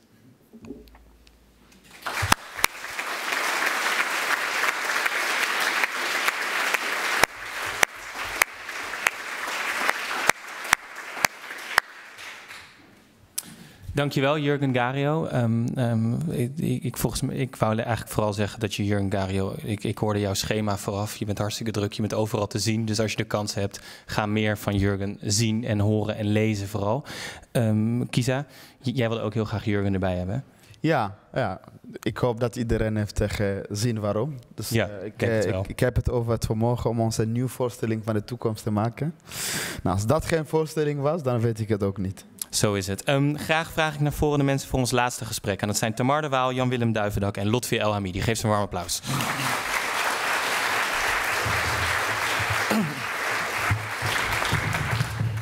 Ja, fijn dat jullie er zijn voor dit uh, laatste gesprek. Uh, ik noem het uh, de grote mensentafel, toch? Ja, ja, de grote, de grote socioloog, de grote columnist, de, de, grote jurist. Ja, ja, ja. En de grote schrijver. Zo is het. Nou, het is ook een grote tafel, dus dat klopt. Ja. Um, um, we gaan dus praten met Tamar de Waal, jurist, filosoof, gespecialiseerd inburgering en integratie. Je bent voorzitter van Stichting Civic, dat zich inzet voor beter inburgeringsbeleid. We hebben Lotfi El Hamidi, columnist bij NRC, plaatsvervangend chef opinie, ook bij NRC. Fijn dat je er bent. En we hebben Jan-Willem Duivendak, uh, hoogleraar sociologie aan de UvA. En daar ga ik het even bij laten. Uh, maar uh, dan hebben we je neergezet. We gaan, we, we gaan in dit stuk hebben over, oké, okay, hoe kunnen we nou die strijd om dat Nederlanderschap, uit, die uit het boek blijkt, wat zien we erin gebeuren en hoe kunnen we daarin verder? En Kisa gebruikt dus de metafoor van een huis. En een huis heeft dus een raam, zoals ik al zei, waarin je hè, mensen naar binnen kijken. Je hebt het scherm waarop de verhalen verteld worden en de tafel waar collectieve besluitvorming plaatsvindt. En daarbinnen hebben we allerlei kamers. Uh, misschien uh, Jan-Willem Duivendak, om met jou te beginnen. Je hebt het boek gelezen. En die metafoor staat centraal. Um, wat vind je van die metafoor? Helpt die ons om het te begrijpen? Um, nou, laat ik beginnen met te zeggen dat het een prachtig boek is. Uh, ik hoef niet te zeggen dat iedereen het moet lezen. Uh, maar het is een heel erg mooi boek. Uh, de eerste helft ook, daar gaan we nu niet meer over hebben. Maar was ik erg van de indruk, moet ik zeggen. Um, ik weet niet zo zeker of dat beeld van het huis Uh, ik weet het echt niet. Mm. Dus ik heb daar heel erg hard over na te denken. Want ja, zoals je al zei, bestudeer ik al enige jaren het fenomeen thuis en thuis voelen. En wie zich waar mag thuis voelen. En um, het probleem van het beeld van een huis is, is dat mensen zich thuis willen voelen. Dus huis en thuis zitten enorm aan elkaar vast. En de vraag is, als je dat beeld van een huis voor Nederland neerzet, dan lijkt het wel alsof burgers van Nederland, hè, want het gaat over de politieke gemeenschap, alsof die zich met elkaar thuis moeten voelen. Eh, maar zoals je al aangeeft, uh, dat lukt van geen meter. Uh, je hebt zeg maar, mensen die zichzelf oorspronkelijke Nederlanders uh, denken. Uh, die zijn heel erg boos, want die voelen zich vreemdeling in eigen land. Mm. Maar die migrantenjongeren voelen zich ook vreemdeling in eigen land, want die zijn hier ook gewoon geboren en getogen. Mm. Um, en ze moeten wat met elkaar, maar vraag alsjeblieft niet dat ze zich bij elkaar moeten gaan thuis voelen. Mm. Want dat is veel te hoog gegrepen. Nou, dat bespreek je eigenlijk ook in je boek.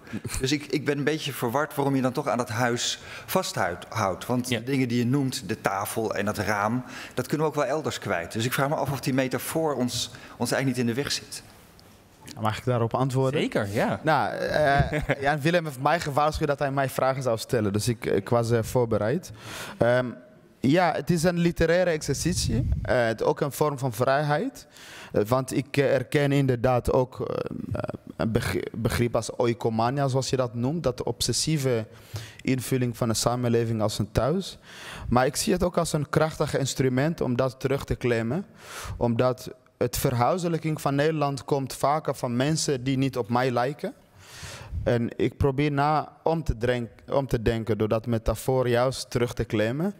En na te denken hoe als Henk en Ingrid, als Nederland ingericht moet worden om Henk en Ingrid thuis te laten maken. Ja, hoe zou dat zijn voor Sofian en Fatia? Dat is voor mij ook de centrale vraag. Dat is ook spelen met een metafoor. Ja. Als een vorm van, uh, ja, als een emancipatoire ja. um, actie. Ik, ik, wil, ik wil het rondje even openen. Uh, Lotfi El uh, je, je, hebt het boek ook gelezen. Ja. Als jij kijkt naar um, de publieke ruimte die Kisa beschrijft... en hoe we erin eigenlijk naar een plek willen... Eigenlijk Nederlanderschap omschrijf jij als de wil om met elkaar ook in verbinding te staan... en aan een toekomst te werken. Hè? Dat je je verbonden voelt met elkaar. Um, je hebt een prachtige podcast ook gemaakt, hè? Generatie 9-11 met Wafael Ali... Mm -hmm als, als, als, jij zou moeten zeggen, ook wat Jan Willem zegt, het begrip thuis, hoe belangrijk het is, waar staan we dan nu ja, voor? Ik, ik vond het wel ontroerend eigenlijk. Uh, eh, vooral als het gaat over die binnenkamer, eh Mhm. beschrijft eh, Kisa uitvoerig. Ehm, en ik, ik werd ermee geconfronteerd omdat Kisa eigenlijk... ik, ik ben hier 35 jaar geleden geboren en getogen, ik ben hier opgegroeid. Eh, Delfshaven, toch? Delfshaven. Ja. Hij, hij kent de Nederlander beter dan ik. Ik, ik, heb, ik heb die binnenkamer nooit gezien, namelijk. Dus hij- dus hij heeft het over eh, Sinterklaasfeestjes, eh, die vreselijke kringverjaardagen volgens mij. heb ik me laten vertellen. Mhm. Ehm, eh, eh, kroeggesprekken en zo. Dat is totaal niet mijn referentiekader. Hè? Mhm. Mijn referentiekader was de moskee, de shisha-lounge, schapen in de douche tijdens offerfeest. Weet je wel? en en ik, zat te, ik zat te lezen en ik denk bij mezelf van... Hoezo is Kisa dan geen Nederlander? En ik, ik raakte een beetje verward dus met, met, met die met- metafoor van ja, binnenkamer. Dus ik had het idee dat ik van tafel en bed gescheiden was van Nederland, weet je wel? Ja, ja, ja. ja, ja. Maar, maar tegelijkertijd, dat- dat, is- ook iets. Hè, de gesprekken die jij met Wafa hebt in de podcast, Ja. zijn ook dat jullie hè, op hetzelfde moment eh, rond 9-11 opeens onderdeel worden van een groter debat als moslimgemeenschap. Opeens eh, staat alles, al- alle vaste grond is aan het verschuiven. En toch hebben jullie zo'n verschillende ervaring eh, van de gemeenschap waar je in zit. En ook wie er wel vervreemd van Nederland en wie niet. Als, je, als jij dan Jan-Willem Duivel ook over het woord thuis hoort, vind je dat belangrijk dat we naar een thuisgevoel werken? Voor mezelf eh, niet echt, eerlijk gezegd. Wat vind je wel belangrijk? Pff, erkenning, denk ik. Ehm, weet je, voor mij hoeft iedereen elkaar niet aardig te vinden. Ehm, ik zit ook niet te wachten op, eh, weet je wel, dat ieder- iedereen hetzelfde denkt over eh, de hete hangijzers, eh, Mhm. zo te speak. Hè, ik verwacht ook niet dat iedereen uiteindelijk eh, ehm, de niet-zwarte Piet omarmt. Hoeft ook niet, weet je wel. Ehm, maar op zijn minst verwacht ik wel dat er ruimte is. ehm, het is een vreselijk cliché, maar om toch te zijn wie, wie je wil zijn, weet je wel. En het is gewoon een leugen uiteindelijk. Eh, als dat wordt vaak door politici gezegd. Hè. In Nederland moet je kunnen zijn wie je wil zijn. Maar dat is helemaal niet waar. Want zij stellen zelf een, een aantal eisen waardoor je niet kunt zijn wie je wil zijn. Ja. En dat is de reden waarom ik. En kijk, die, ik, hè, die, die podcast heet Generatie 9-11. En dat was echt een botsing. Hè? Dat, dat was geen eh, kennismaking of dat was ook geen eh, poging om, eh, om, een, om een thuis te vormen. Maar het was gewoon een botsing. En ik heb het idee dat, ehm, dat we nog steeds niet hersteld zijn van, van, van, van die botsing. En nou ja, we doen maar wat, heb ik het idee. En, ehm, en weet je, ik, ik- kijk, ik ben een beetje een chauvinist. Hè. Ik heb, het altijd, ik heb dat, dat voor Rotterdam en zo. En, eh, vooral in Amsterdam eh, Ja, ja, extra eh, ga, ik er, ga, ik er heel, ga ik er heel goed op. Eh, maar er was een keer een onderzoek, ik weet niet meer welk onderzoek het was. en Waarschijnlijk een universitair onderzoek. Ehm, eh, en ze vroegen jongeren in de grote steden hè, vragen zoals van... voel je je Nederlander? Of zou je jezelf Nederlander noemen? Dan zeiden ze nee. Maar voel je je Rotterdammer of Amsterdammer of Hagenees? Dan zeiden ze ja compleet, eh, best wel bizar eigenlijk. Want Mhm. steden liggen gewoon in Nederland. En toen dacht ik wel bij mezelf van ja, dat, dat, dat is misschien wel de toekomst. Dat je gewoon een soort regionaal, st- grootstedelijk identiteit hebt. En dat je daarmee moet doen. En ik denk dat dat ook wel misschien het hoogst haalbare is voor heel veel mensen. Ja, ja, ja. Tamar, we hebben eigenlijk twee mensen gehoord dan, die het boek hebben gelezen van Kisa en zeggen: eh, heel mooi boek, fantastisch geschreven, maar misschien leg je de hoop te hoog. Want jij zegt eigenlijk, misschien is, is zo'n soort regionale identificatie het hoogst haalbare. Jan-Willem Duiven ook zegt, misschien moeten we niet streven naar een thuisgevoel. Hoe heb jij dat boek gelezen? Nou, ik vond het ook een heel mooi boek. Eh, en ik vind ook wat je net zei, dat het, het een emancipator ideaal is om die metafoor van het huis terug te claimen. Dat vind ik ook alweer heel raak, dus daar ga ik ook alweer over nadenken. Ehm, ik, ik doe dus onderzoek naar het inburgeringsbeleid. En dat is wat mensen moeten doen als ze nu arriveren, aantal examens halen, een heel traject in. Kiezen heeft dat niet gedaan omdat je naar de middelbare school Mhm. eh, ging. En als je dan eindexamen haalt, dan is dat ook eh, de inburgering. En ehm, ik heb ook een aarzeling bij de metafoor van het huis, omdat eh, ik ook bij de inburgering zie dat er een idee van gastvrijheid wordt aangewakkerd bij de mensen die ontvangen. Zo gezegd. Ehm, en gastvrijheid is iets van, nou, je mag er wel bij, maar het moet wel gezellig blijven. Je mag het feestje niet verstoren. Nee, en je mag ook niet meepraten over hoe de inrichting is. Nou, dat is ook iets over de schilderij in de gang. Dat heb jij ook wel eens teruggekregen. Ja. Ehm, en dat idee van gastvrijheid en ook het moet wel gezellig blijven, dat kan echt generaties lang eh, toch mensen teruggeworpen worden. Dus mensen die inderdaad over Zwarte Piet, ook een van de centrale discussies die in het boek naar voren komen. Het zijn mensen die, die, zijn generaties in Nederland. Ik bedoel, Limburg is minder lang bij Nederland dan uh, sommige mensen met Surinaamse roots. Dus het is ook een bizar idee dat daar een idee is van ja. waarom praat u mee over ons uh, ja. nationale feest. Maar dat idee van, en ook dat woord inburgeren, dus ook iets dat ik dus ontleed. Dat is toch ook het idee van, nou, wij zijn al burgers. En dan komen er mensen als niet ingeburgerd binnen. Die gaan een soort van persoonlijk traject door. Die geven wij een stempel. Maar ook dat idee dat iemand ingeburgerd is, kan weer teruggetrokken worden. Want als je toch demonstreert voor een autoritaire leider in het buitenland, ja, ja dan is het toch niet helemaal gelukt met die inburgering. Dus ik zou misschien willen dat dat idee van gastvrijheid juist wat meer wordt getemperd. En misschien door de metafoor van het huis ook te temperen, is dat misschien een mooie bijvangst. Ja, ja. Want, want ik heb het idee, Kisa, als wij nu in therapie zouden gaan met z'n allen als heel Nederland, dan zullen er onuitgesproken vragen meer bij sommige mensen dan bij anderen liggen. Bijvoorbeeld het woord loyaliteit hebben we nog niet genoemd, maar hè, de, de situatie rond de Turkse koep, dat was duidelijk ook een loyaliteitsvraag. Er werd aan mensen gevraagd, ben jij een Nederlander of ben jij eigenlijk een Turk? Ik vind dat de meest giftige term trouwens hoor. Ja, Loyaliteit. Ja, dat, dat, dat op een gegeven moment. Kijk, die doelpalen verschuiven steeds. Hè? Mhm. Dus het, is, het is op een gegeven moment niet meer genoeg dat je, dat je meedoet, participeert, diploma's haalt en werkt en zo. Nee, dan moet je opeens een soort loyaliteitsverklaring Ja, ondertekenen. ja, ja. En, en, dat, en dat wordt een soort ritueel. Eh, eerst is het van eh, je, je moet kiezen tussen paspoorten. Ja. Eh, nou ja, bij mij is het heel snel van ja, ik kan niet kiezen, want dat kan gewoon niet, ehm, technisch gezien. Ja. In mijn geval, of in het Marokkaans geval. Ehm, maar dan is het, ja, is het de grondwet of de Koran? Weet je, van zulke, zulke vraagstukken. En dan denk ik bij mezelf van, ehm, hier kun je niet, dit kun je niet winnen. Eh, en dat voedt wel het wantrouwen en ehm, het, nou ja, het gevoel dat je er eigenlijk nooit echt bij hoort. En Ja. er, is, er is een passage in het boek eh, waar eh Kisa dan in Barneveld is met een workshop en dat die, die, die lokale jongeren daar nou ja, onderwijst bijna. Ehm, en wat mij trof is dat ehm Kisa dan nog wel acceptabel was. Maar Marokkanen, dat was echt. Terwijl ze, ze hebben nog nooit een Marokkaan in hun leven gezien. Maar Marokkanen, dat was echt dat was het ergste wat, wat, wat, Mm. wat, wat er was. En ik dacht bij mezelf van, we zijn er al een halve eeuw. En dan nog steeds wordt er zo gesproken. En dat voelt wel, nou ja, in, in die zin word ik dan die cynische biculturele Nederlander waar Kies het dan over heeft. Ja. Ja. Ja, ja, ja, ja, ja. Maar als ik, als we, hoe, hoe, hoe kunnen we dan wel dat op een goede manier dat we daarin verder komen? Want eigenlijk hoor ik vooral, we moeten dingen uit de discussie halen. Ehm, nee, ik ben het er mee eens dat ehm, het vragen van loyaliteit hè, als onderdeel van dat burgerschap steeds meer emotioneel eh, gedefinieerd wordt.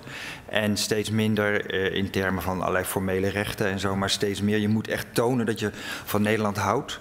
Ehm, dat is niet de weg waar we naartoe moeten. Tegelijkertijd kan burgerschap niet helemaal zonder emoties. Dus het is niet een eenvoudig antwoord van laat die emoties nou maar zitten. Eh, het feit dat de meeste mensen in Nederland fatsoenlijk belasting betalen, dat is het voorbeeld wat ik altijd bij mijn studenten geef, eh, is toch een teken van dat mensen zich met op, op elkaar betrokken voelen. En op het moment dat het een samenleving is met enorm veel wantrouwen naar elkaar, gaan mensen ook minder snel belasting betalen. Dus je moet een zeker eh, idee hebben van een collectief lot, eh, dat, je met, dat je voor elkaar in moet staan. Maar dan begin ik te stotteren. Want wat zijn dan de goede werkwoorden die niet te veel eisend zijn? Dus niet dat je bij elkaar thuis moet voelen, want dat is verschrikkelijk ingewikkeld. Maar je moet wel iets voor elkaar voelen. Of je moet met elkaar iets voelen. Of je moet met elkaar voor iets juichen. Ehm, maar het onderzoek van jou waar je al naar verwijst, van ehm, niet je zo blind staren op dat je per se alles in termen van Nederlandschap, Nederlanderschap moet doen. Maar veel meer ook aan andere identificaties denken. Dat lijkt me een goede weg. Ehm, en ja, misschien zelfs, ik weet niet of ik dat hier moet zeggen, maar minder in termen van Nederlanderschap. We hebben net een onderzoek afgerond en daarin hebben we eerst geanalyseerd hoe eh, radicaal rechtse partijen en centrumpartijen steeds meer wat voor discussie we ook hebben in termen van Nederlanderschap gaan voeren. Maar je ziet nu ook dat, dat deed de SP al een tijdje, maar Klaver doet het ook steeds vaker. Die valt andere partijen aan en dan zegt hij, ja, dat is eigenlijk on-Hollands. Dus je krijgt alleen nog maar een debat over wat dan Nederlanderschap is. Nou, dat Ja. debat hebben we nu twintig jaar, daar zijn we niets meer opgeschoten. Ja. Dus als we in therapie gaan, stel ik voor dat we die vraag niet centraal stellen. Ja, dit is, heel, eh, dit, is, dit is heel fascinerend. Ik ben sowieso eh, in mijn werk even op een abstract niveau sceptisch over de nazistaat. Eh, wat mij betreft mag die in de prullenbak omdat het een Europese constructie is. Eh, maar in dit boek probeer ik juist te spelen met het ne Nederlanderschap, omdat, eh, plat gezegd, een referentiekader is waar heel veel mensen met nu eenmaal te dealen hebben. Dus ik zie het wel als een opdracht, ook voor ja, mensen die heel sceptisch zijn over de emotionalisering van burgerschap. Ik denk dat het echt een opdracht is om echt dat terug te claimen van extreem rechts. Baudet heeft niet een monopolie op Nederlanderschap. Dus eh, en in die zin snap ik waar partijen zoals de PvdA vandaan kwamen met zoiets als een participatieverklaring. Maar het risico is dat je valt in dat uh, emotionalisering uh, proces. Dus de vraag is dan, ja, hoe zou jij dan dat collectieve lot, dat lotverbondenheid en ook de diversiteit is ook een realiteit. Daar moeten we ook eerlijk over ja. zijn. We zijn we zijn niet hetzelfde. Uh, sommige mensen hebben ook, net als ik, een emotionele relatie met Congo en anderen met Turkije. Dat is een realiteit. Ja, ja, ja. ja eh, voor mijn gevoel zou Nederlanderschap ons moeten verbinden, ondanks al die verschillen. En hoe, hoe geef je daar invulling aan? Tamar? Nou ja, ik zou het ook zoeken in dat het uiteindelijk gaat om een bepaald ideaal. Een normatief ideaal. Dus ik vind ook zeker dat bijvoorbeeld in onderwijs uh, er best lessen burgerschap gegeven kunnen worden van hoe werkt de rechtsstaat, wat zijn de normatieve uitgangspunten van een democratie. Um, maar dat is dus niet een soort van vereiste waar je aan zou moeten voldoen en een soort van eis waar je onder zou kunnen vallen en dat je dan een gefaalde burger bent. Mm. Maar wel dat er een bepaald soort ideaal is waartoe je je toe kan verhouden. En ik denk dat het ook bijvoorbeeld een vorm is dat het aan Nederland gelinkt kan worden. Dat moet niet een soort van idealisering van Nederland zijn, waarbij je dan ook vaak een beetje moet gaan verzwijgen wat er allemaal in het verleden is gebeurd. Maar ik heb moeite dit concreet te krijgen. Nou ja, als je bijvoorbeeld een waarde als gelijkheid of vrijheid centraal stelt van een land als Nederland, dat willen wij zijn, ja. Uh, dan is dat iets waar je heel erg over kunt spreken. En ook uh, dat hoef je ook helemaal niet per se uitsluitend te linken aan Nederland. Maar eigenlijk zeg je dan, je dan moet je misschien niet de discussie voeren... Nederlanderschap gaat over gelijkheid en broederschap... maar je moet het hebben over wat vinden we dan gelijkheid. En dan kan daar iets uitkomen wat ons bindt... in plaats van dat je het via Nederlanderschap invult. Maar dit is... Dus, ja, ja en dan ook inderdaad niet dat je uh, ja. op het moment dat iemand misschien vrijheid niet steunt... wat op verschillende manieren ja. gebeurt, ook al in de discussie hier in de Bijbelbelt... maar ook in, in bepaalde uh, andere gemeenschappen en groepen... daar moet je ook wel erkennen natuurlijk. Maar dat betekent niet dat er dan zeg maar de, de, het, het sociale uh, relatie van zo iemand met Nederland, met burgerschap daarmee ja, verminderd is. Maar, maar misschien toch, Lotwie, om het even concreet te maken, Mikal, die zei er al iets over de rol van de media hierin. Want eigenlijk, uh, als we het hebben over een, een goed gesprek met elkaar, dan, dan wordt dat gesprek natuurlijk veel onze huiskamers ingeslingerd door de televisie, door de media, door social media ook in toenemende mate. Um, als, als plaatsvervangend chef opinie bij NRC. Hoe vind jij dat? Kijk, in die ruimte komen allerlei stukken. Dat zijn meningen van mensen. Ja. Um, en de een voelt zich daardoor aangevallen, de ander voelt zich daardoor uitgesloten. En tegelijkertijd het grotere doel, tenminste van een opiniesectie, uh, lijkt mij om verscheidenheid te laten zien en daarin verder te komen. Hoe, hoe, hoe, hoe kijk jij daarnaar? Want dat is natuurlijk iets waardoor de angel vaak erin blijft zitten. Nou ja, we hebben natuurlijk twintig jaar lang enigszins een problematische ervaring gehad met uh, nou ja, de media in, in allerlei vormen. Um, het waren vaak usual suspects die werden uitgenodigd of die een uh, plekje kregen in de krant, die een uh, mochten legen of in ieder geval een ei kwijt konden. Um, waardoor er toch wel bij heel veel mensen het idee ontstond dat um, de media niet op zoek was eigenlijk naar gewone mensen. Mm. We, we, we, bij een eerdere tafel ging het over de gewone Nederlander. Ja. Uh, maar uh, de gewone allochtoon, om dan toch die vreselijke term te gebruiken, uh, die werd nooit ge gezocht en uh, daardoor ook nooit gevonden.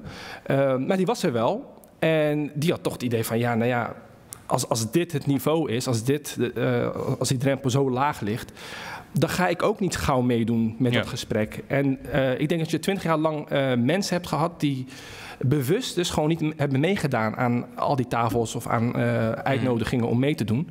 Um, en dat hoor ik gewoon uh, direct van mensen. Nu pas mondjesmaat zie je toch wel dat ze, dat ze hun uh, positie claimen. Of in ieder geval dat ze een, een plekje willen aan tafel. Um, maar, en, en, daar ging het eigenlijk bij tafel hiervoor. maar ze willen eigenlijk helemaal niet over identiteit praten. Dat is, dat is wat me ook opviel. Maar het idee is dat we het constant over identiteit hebben. Ja, maar da- daar willen ze helemaal niet over praten. Ehm, ze willen over sociale huurwoningen praten. Ze willen over eh, sociale ongelijkheid praten. Ze willen over eh, klimaat praten. Ehm, ook over hele saaie dingen willen ze praten. Weet je wel? Zoals ik al zei, gewone, gewone mensen. Ehm, eh, maar daar worden ze niet voor uitgenodigd. En nou ja, dat moet in ieder geval wel veranderen. Wil je een, een volwassen Ja. gesprek hebben tussen, tussen mensen? Jan-Willem? Ja, het, het rare is eigenlijk dat ehm, zij natuurlijk wel voortdurend het verwijt krijgen dat ze aan identiteitspolitiek doen. Mhm. Eh, en dat krijgen de, ook de Zwarte Piet eh, eh, demonstranten en dat krijgen heel veel tweede generatie eh, Turkse Marokkaanse Nederlanders. Terwijl wat je volgens mij terecht constateert is dat eigenlijk vooral de meerderheid aan identiteitspolitiek doet. En als de anderen dan al welkom zijn, moeten ze meedoen als de zwarte Nederlander of als, ja, als het dan Nederlander is, maar als de zwarte andere. Ehm, ik denk dat als we in therapie gaan, ehm, en dat klinkt zelfbeschuldigend, maar zo bedoel ik het ook, dat er dus vooral in therapie gegaan moet worden met witte Nederlanders. Omdat die obs- er is een, toch een zekere obsessie met het idee dat Nederlanderschap wit is. Dus ik ben het ermee eens. Eh, wit Nederland moet daarover met zichzelf in gesprek om daar afscheid van te nemen. Want het grootste, de, de, groot- de, de mooiste, hoe zeg je dat, omvattende vorm van identiteitspolitiek is het feit dat heel veel mensen in Nederland nog steeds Nederlanderschap met witheid associëren of zelf willen monopoliseren. En daarom nog steeds na 50 jaar eh, Nederlandse eh, Marokkanen en Turken eh, vooral als Turken en Marokkanen worden gezien. En ehm, dus ik vind het geweldig dat jij met onze therapie wil, maar Als de therapeut. eh, het zou wel een soort zelftherapie moeten zijn. Als het therapeut, ja, heel goed. Maar, maar, ehm, maar dat, dan... Maar ik moet ook zeggen eh, dat, Ja? dat, er echt dagen zijn, soms wel weken, dat de, dat de witte Nederlander helemaal niet in mij opkomt. Dat, eh, nee, Heerlijk. Dat, dat ik totaal niet aan hem denk. Nee, echt. Dat, Ja. dat ik in, Ja. ja. sorry ik het zeg, Ja. maar. Dat ik in omgevingen eh, Ja. begeef waar, waar, waar de witte Nederlander geen... geen Nee, maar ja, ja, daar moet hij echt aan wennen, maar waar geen onderwerp van gesprek is. Maar, maar, maar dan toch, omdat, omdat die opiniesectie is toch een interessante plek, denk ik. In het, in, in- tenminste, ik hoop dat jij hem ook interessant vindt, want je werkt er. Maar ehm, dat is toch een interessante plek, omdat daar Ja. die relatie tussen meerderheid en minderheid komt daar samen. En je zegt zelf, ik moet vaak op zoek, omdat die groep, die heeft zich jarenlang niet gehoord. Dus je denkt, waarom zou ik hier aan meedoen? Maar tegelijkertijd zie je daar constant thema's als de angst om iets te verliezen in een Nederland dat verandert. De angst eh, dat, dat, dat andere mensen een plek opeisen. De wens om een plek op te eisen. Soms ook gewoon de eis dat eh, je goed, mee mag de praten. NS, Handelsblad is ook wel een nichekrant. Hè? Dus eh, we, we plaatsen inderdaad hele hoogdravende en Ja. eh, goed onderbouwde stukken over eh, identiteit en, eh, en noem maar op. Maar eh, dat is uiteindelijk niet representatief voor Nederland. ja, het is niet de sloophamer, weet je wel. De- Ja. Die uiteindelijk, kijk, we hebben twintig jaar geleden natuurlijk een, een vreselijke sloophamer in NSC gehad met Paul Scheffer, met zijn multicultureel drama. Mhm. Eh, dat hebben we vorig jaar trouwens helemaal, eh, eh, nou, daarmee hebben we afgerekend, vond ik. Eh, Mhm. en ik moet zeggen, nu we het toch over therapie hebben en zo. Ik, ik, ben- ik ben helemaal niet bezig met therapie. Ik heb het idee, gevoel, ook met die podcast met 9-11... en ik hoop ook binnenkort met een boek... ehm, dat ik bezig ben met een afrekening, eigenlijk. Twintig jaar is er op, op mij gebeukt en nu is het mijn beurt. Zo- zo- Ja. zo- Nou. in, in die positie bevind ik mij, heb ik het gevoel en het idee. En het bevalt me wel. Ja. En, en, hoe, en hoe luister je dan naar Kisa die aan het begin eh, toch ook wel vertelde dat hij worstelt met dat je toch ook het, eh, de empathie hebt voor de PVV-kiezer die eh, angst heeft om iets te verliezen in Nederland en, en kan, eh, hoe zeg je dat, zich verhouden tot dat gevoel. Terwijl jij zegt aan de andere kant, ik ben ook blij dat ik nu de kans heb om er op te beuken een keer eindelijk. Ja, Je nou hebt ja. hem ter referentiekader te maken, hè, zoals ik dat beschrijf. Ja. eh. Nou ja, kijk, ik, Een ik- ja, precies, zeker. En, Nee, nee zeker, maar toch? nee, ik heb, ik heb ook, weet je, die PVV kan maar gestolen worden. hè. Ik bedoel, Die staat ook niet op mijn radar. Nee. Ehm, ja, die heeft issues, overduidelijk, weet je wel. Ja. Die, die, die heeft, die heeft in, Vind je Ja, het een morele opdracht om samen met de PVV-stemmer eh, samen eruit te komen, omdat je samen Nederlanderschap deelt? Want dat ik heb een het- van de ik- centrale vragen dit Ik heb het gevoel van eh verman jezelf. Ja, sorry. Weet je, kijk, eh, eh, decennia lang hebben wij ons moeten verhouden tot, eh, tot Nederland. Ja, nu mogen jullie dat even doen, weet je wel. En dan dat, dat geklaag altijd van ik herken mijn eigen land niet meer en zo. Ik denk dat mijn vader nog zijn eigen land herkent. Of, Mm. of, of de stad herkent waar hij terecht kwam toen hij hier kwam werken. Maar eigenlijk zeg je doe volwassen. Eigenlijk wel, Ja, oké. ja. Ehm, Tot slot misschien, en dan ben ik ook benieuwd naar vragen uit de zaal... of eh, mensen die graag meedoen aan de therapiesessie of therapeut willen zijn eh, daarin. Ehm, ehm, een van de dingen die wel misschien, tenminste ik moest eraan denken dat eh, als je kijkt naar de manier waarop wij inburgering vormgeven, de manier waarop wij omgaan met mensen die hier naartoe komen. Ik moest heel erg denken dat het systeem is best wel gebaseerd op wantrouwen. Uh, namelijk, uh, ben jij wel op de goede manier hier bezig nu en kun jij echt een aanwinst zijn voor Nederland? En dat is wel iets wat natuurlijk terugkomt op andere plekken ook. Ik bedoel, wantrouwen, ik hoef niet het woord toeslagen te noemen, maar het afgelopen jaar, we zien dat Nederland een soort gestold wantrouwen heeft. Hoe kunnen we nou dit, dit, dit gesprek, die wens van kiezen, als ik dan toch nog even jouw wens op tafel probeer te leggen, hoe kunnen we dat ombuigen naar een situatie waarin we wel eh, die connectie willen maken om samen te werken aan een toekomst? Of zeg je misschien, en dan komt bij Lotfi uh, zo meteen, um, misschien moeten we ook niet continu willen samenwerken, maar moeten andere mensen zich ook gewoon een beetje vermannen en, en zijn de verhoudingen veranderd? Begin bij jou. Ja, ik ben heel benieuwd naar de afrekening en het boek van uh, Lotfi. Dat wil ik uh, allereerst zeggen. Maar ik denk dat misschien een deel van de oplossing wel is om inderdaad te laten zien dat veel problemen waar mensen met een migratieachtergrond of inburgeraars, om het woord te gebruiken, dus mensen die bezig zijn met het traject, waar die mee kampen, dat dat eigenlijk veel bredere problemen zijn waar veel meer groepen in de samenleving mee kampen. Mm. Dus je hebt niet, uh, misschien is het alweer twee jaar geleden, maar een mooi rapport gehad van de WER. En de titel was Weten is nog geen doen. En dat ging over dat ja, je het verhouden tot de overheid is steeds meer gedigitiseerd. Dus mm. je moet met apps en je moet inloggen en je moet allemaal. Ja. ja, en ook die toeslagenaffaire. Het is allemaal ingewikkeld formuleren. En nou, veel mensen hebben daar moeite mee. En de zelfredzaamheid, dan is dan een beetje het uh, toverwoord en de beleidstermwoord. Maar dat is in ieder geval op heel veel beleidsterreinen van heel veel Nederlanders wordt die totaal overschat. En dat heeft helemaal niks te maken met of je misschien ergens anders vandaan komt of niet, of je ouders of wie dan ook. Ja. Dus om dat soort problematiek in bredere termen te vatten en te laten zien van ja, ja dit is dus niet dat, dat aantoont dat deze persoon niet geïntegreerd is en het huis Nederland uitgezet zou moeten worden, al is het maar symbolisch. Mm-hmm. Maar dat het gewoon een gedeeld probleem is, dat hoort bij de huidige tijd. Uh, Rotterdam is inderdaad ontzettend veranderd in de afgelopen 60 jaar voor iedereen. Dat zou misschien meer gemeenschappelijke taal kunnen zijn. Ja. Maar een deel van de oplossing, want ik denk ook een deel dat het toch ook gewoon racisme is. Dat Ja. is op zichzelf staand probleem. Ja. Ja. Maar als we het rondje afmaken, Jan-Willem? Ehm, ja, ik denk dat de vraag is hoe, hoe groot is dan de opdracht? Dus hoe uh, slecht staan we ervoor, of hoe goed staan we ervoor? En uh, ik ben ook wel eens moedeloos, maar in die end denk ik eigenlijk dat de problemen ook te groot worden voorgesteld. Alsof we zo verschillend zouden zijn. En alsof migranten niet op den duur in grote meerderheid toch behoorlijk assimileren. Mm. De vraag is of je dat normatief goed vindt, heb ik het even niet over. Maar mm. feitelijk is het zo dat uh, de meeste migranten die hier 50 jaar geleden gekomen zijn en hun kinderen. Uh, op alle mogelijke onderdelen veel Nederlandse scoren. Daar ging het net al even over dan bijvoorbeeld uh, de nu al vaak genoemde Bijbelbelt. Dus ja. wat dat betreft is de opdracht minder groot. En ja. vind ik het zelf wel belangrijk om minder de taal van diversiteit steeds te praten. Alsof de verschillen zo groot geworden zijn. Ik zie wat je zegt over Congo en Nederland. Mm. Maar uh, 40 jaar geleden was de afstand tussen Limburg en Amsterdam ook ongeveer, nou iets langer geleden, maar ook ongeveer zo groot. Ja, ja. Of toen de Limburgers en de Brabanders in Rotterdam-Zuid kwamen wonen, dat was ook een totaal andere wereld. Kijk, we hebben geen historische afstandsmeter, dus we weten niet hoe mensen zich vroeger mentaal ten opzichte van elkaar verhielden. Maar ik geloof niet dat wij nu mentaler veel verder afstaan van mensen die hier komen, ook omdat we geglobaliseerd zijn, ja. dan mensen vroeger. Dus ik laat ik optimistisch zijn en zeggen, uiteindelijk. Uh, is de opdracht minder groot dan jij misschien in je boek uh, laat uh, voorstellen. Hou mij vast, ik kom zo bij jou kiezen. Uh, Lotfi? Nou ja, ik denk wel dat het grotendeels organisch groeit.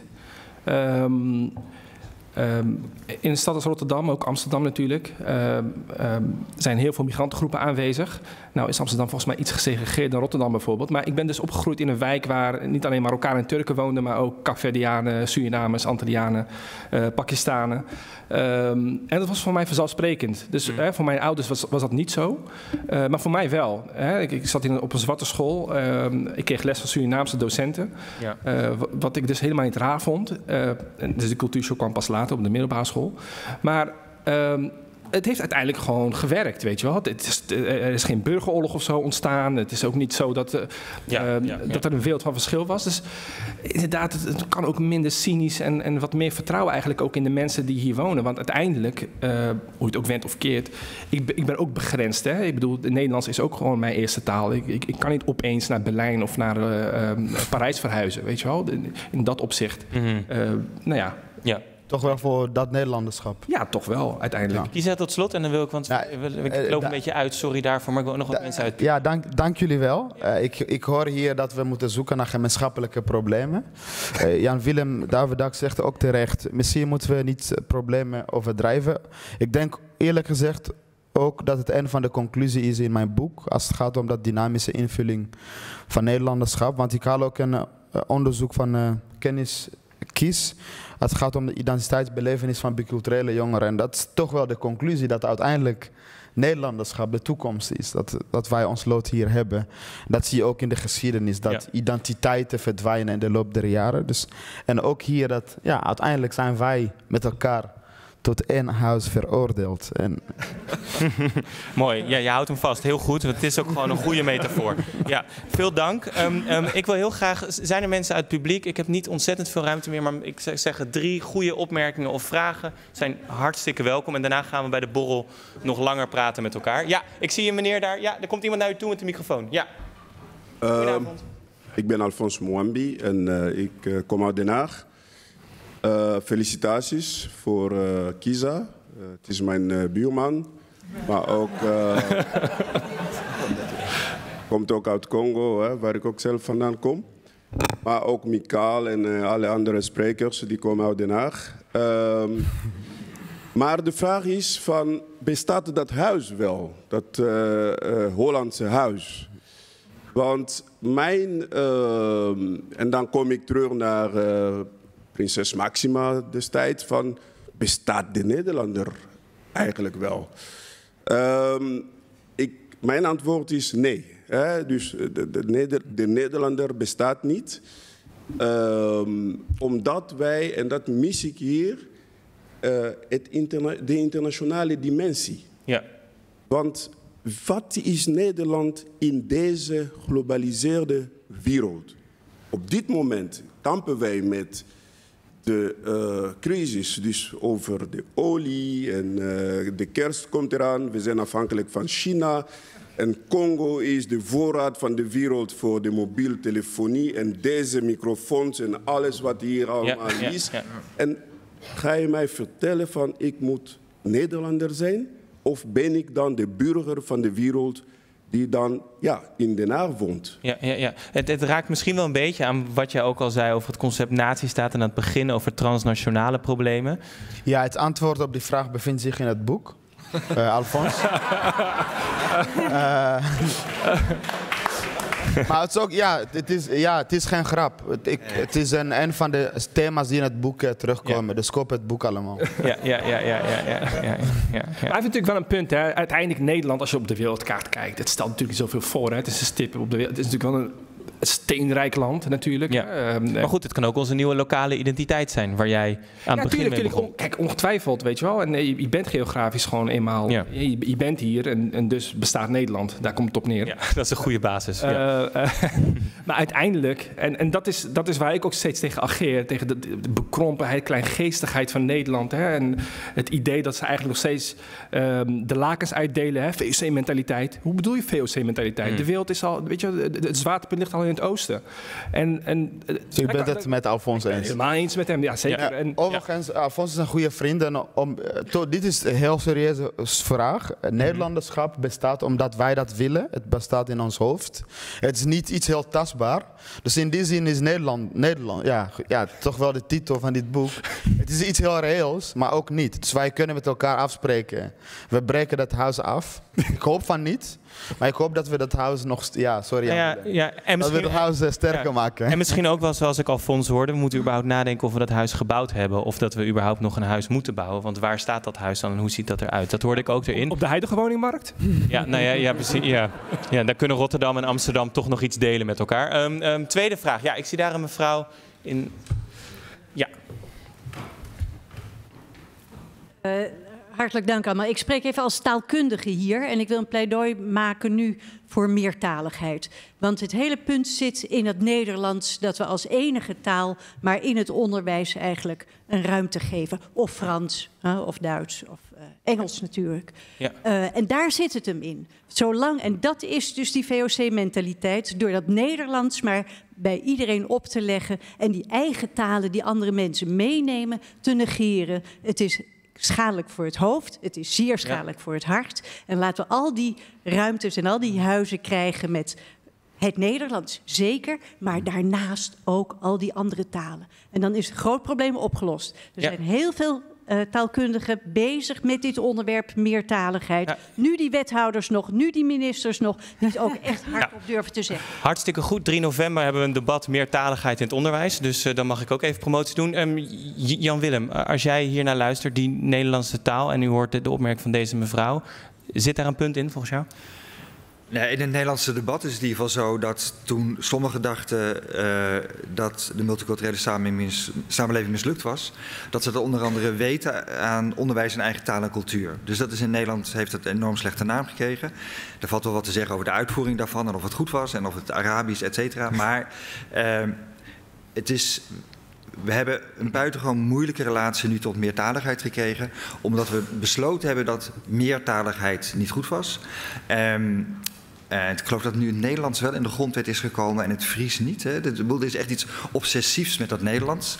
Eh, dus veel ruimte voor meertaligheid. Dat betekent trouwens niet dat daarmee Nederlandsheid meteen lichter wordt. Want kijk naar de Zwitsers. Die hebben vier talen, maar het Zwitsers nationalisme is niet gering. Hè. Dus het wil niet zeggen dat daarmee alle problemen opgelost Ja, ja, Ja, toch even een korte ter aanvulling. Dat, dat Nederlands gesproken moet worden door iedereen... is toch ook iets dat se- selectief wordt geëist.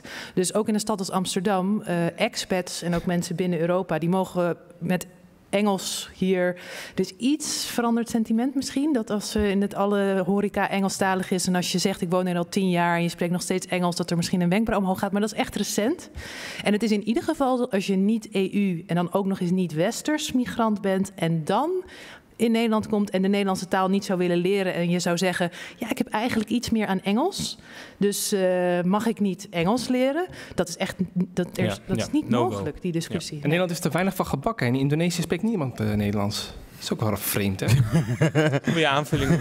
Ehm, ik wil tot De slot... kolonisatie was Ja. niet zo effectief. Ik wil eh. tot slot naar de laatste vraag of opmerking van iemand die echt niet kan slapen als hij die vraag niet gesteld heeft. Ja, ik zie daar iemand die echt. Ja, heel goed. Dan gaan we daar naartoe voor de laatste vraag. De buurman van Alfons Mwambi. Ja, Ja, ik ook in de buurt van Den Haag. Dus, eh. Even, ik heb een vraag over eh, therapie in Nederland. Hoe lang moet je dat eh, doen eigenlijk? goed. Kijk, een praktische vraag tot einde. Hoe laat beginnen we? En, ja. Na voetbal. Ja. Ja, want ik, ik heb het boek nog niet gelezen. Dat ga ik nog lezen, dat weet je. Maar ik vraag me af, ik heb, ik heb geen behoefte om een therapie in Nederland te gaan. Want Nederland moet de therapie met zichzelf hebben. ja. En, eh, maar ik vraag me, hoe lang het duurt het? Want misschien is het in de boek eh, geschreven, maar ik... In principe, eh, de eerste stap is het lezen van het boek. Eh, want het, is ook, het lezen van een boek zonder grap is ook een vorm van therapie. Ehm, en als je geen zin in een therapie hebt, ik hoop dat het als een afrekening leest. Goed. Helder, dankjewel. Ehm voordat we helemaal gaan afsluiten. ehm, nee, ik ga het goed doen. Ik wil eerst een uh, daverend applaus voor mijn sprekers van de laatste tafel. Lotfi El Hamidi, Jan-Willem Duivendak, Tamar de Waal. Ehm, Voordat we gaan afsluiten moeten we nog twee dingen doen. Ik wil jou ten eerste vragen, Kisa. eh, aan het begin eh, noemde jij wanneer is dit een geslaagde avond. Heb jij tot slot nog iets wat je daarover wil zeggen? eh, wat jij... Kijk, want een boek is een begin. En vervolgens gaan mensen erover praten, vragen stellen, moeilijke dingen zeggen. En ehm, zeker als je boek met Nederland in therapie is, is het een begin van een gesprek. Ehm, als jij nu meteen deze avond weegt, komen we verder? Ja, denk het wel. Ik heb ook met name aan deze tafel best wel kritische dingen gehoord. Eh, ik hoop dat eh, dit boek het gesprek op gang brengt. Daarom heb ik het hem geschreven. Het is ook een irritant boek, omdat ehm, je bent nieuw in Nederland en je gaat een boek over Nederlanderschap schrijven. Als je ambitie hebt als schrijver, ja, dit ga je echt niet in het Italiaans vertalen. Dus, maar het, het is toch wel uit noodzaak geschreven. In mijn studententijd voelde ik dat er iets borrelde. Ik maak mij zorgen over het hekjesdenken, over racisme. Eh, al die emoties. Dus ik hoop dat dit boek een instrument is om dat gesprek op gang te brengen. Ja. Het is mijn debuut. Ehm, ik hoop dat er meer boeken volgen. Ja. En vooral ja, dat hij goed eh, gelezen wordt. Nou, er, er, is al een herdruk van de eerste, dus dat komt goed. En eh, we gaan tot slot, want jij zei ik zou heel graag het boek willen aanbieden. Ja. Aan iemand.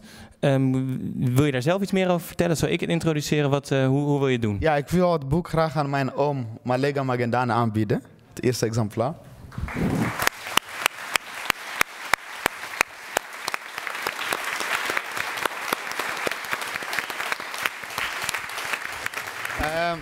Als mensen vroegen aan mij, Kizak, ja, heb je er zin in? Ja, ik had zin in deze avond. Zie je Kom een tegenop? beetje in het licht staan, anders dan... Ja. Eh, ja, ik zag er tegenop. Eh, maar dit is voor mij het meest emotionele moment. Ik had dit boek aan mijn oma willen voordragen.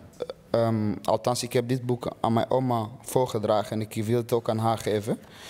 Ik ga een stukje lezen. Het schrijven van dit boek was niet makkelijk. Niet omdat het schrijven van een boek op zichzelf een uitdagende klus is, maar ook omdat ik met een grote persoonlijke tegenslagen te kampen heb gehad. Nou, ik heb onder andere mijn oma verloren. Dat waren een van de tegenslagen. Mijn oma heeft mij opgevoed. Ik heb trouwens de achternaam van mijn oma, Magendane. Ehm, ik draag dit boek op aan de liefde, met name de liefde van mijn oma Eva Magendane, die helaas de publicatie niet zal meemaken om trots te zijn op wat haar kleinkind in een nieuw land heeft bereikt. Maar ik zal haar mij altijd door haar moed laten inspireren en de beste versie van mezelf worden. Zonder liefde ben ik verloren. In de liefde vond ik mij thuis in Nederland. Ik ben haar, de liefde, eeuwig dankbaar. Oncle Kongwa Wenene, na kuweza kino kitabu kuzina limomgaka.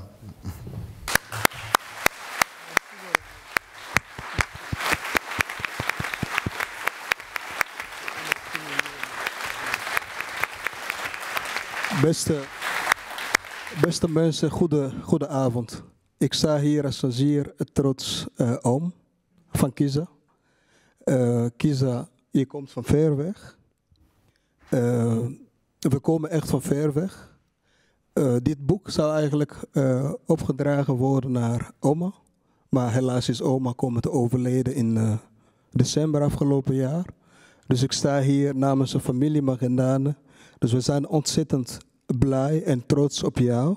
We waarderen jou, eh, nou, jouw inzet en vooral jouw doorzettingsvermogen. Ja, mag God jou echt zegenen. Dit is een debuut. We hopen echt meer van te zien. Dus ik ga het boek met heel veel plezier lezen. Nou, dank jullie wel. Koop het, eh, dames en heren. Koop het. Ja? Da- daarbij, eh, daarbij, wil ik nog iets, eh, daarbij wil ik nog iets toevoegen. Ja, met Nederland in therapie. Waar begint het eigenlijk? Het begint met acceptatie, empathie. Met elkaar echt in gesprek te gaan. Niet naar verschillen gaan kijken. Maar wat kunnen wij voor elkaar betekenen om het mooie Nederland te creëren voor elkaar? Dank jullie wel. Dankjewel. Ehm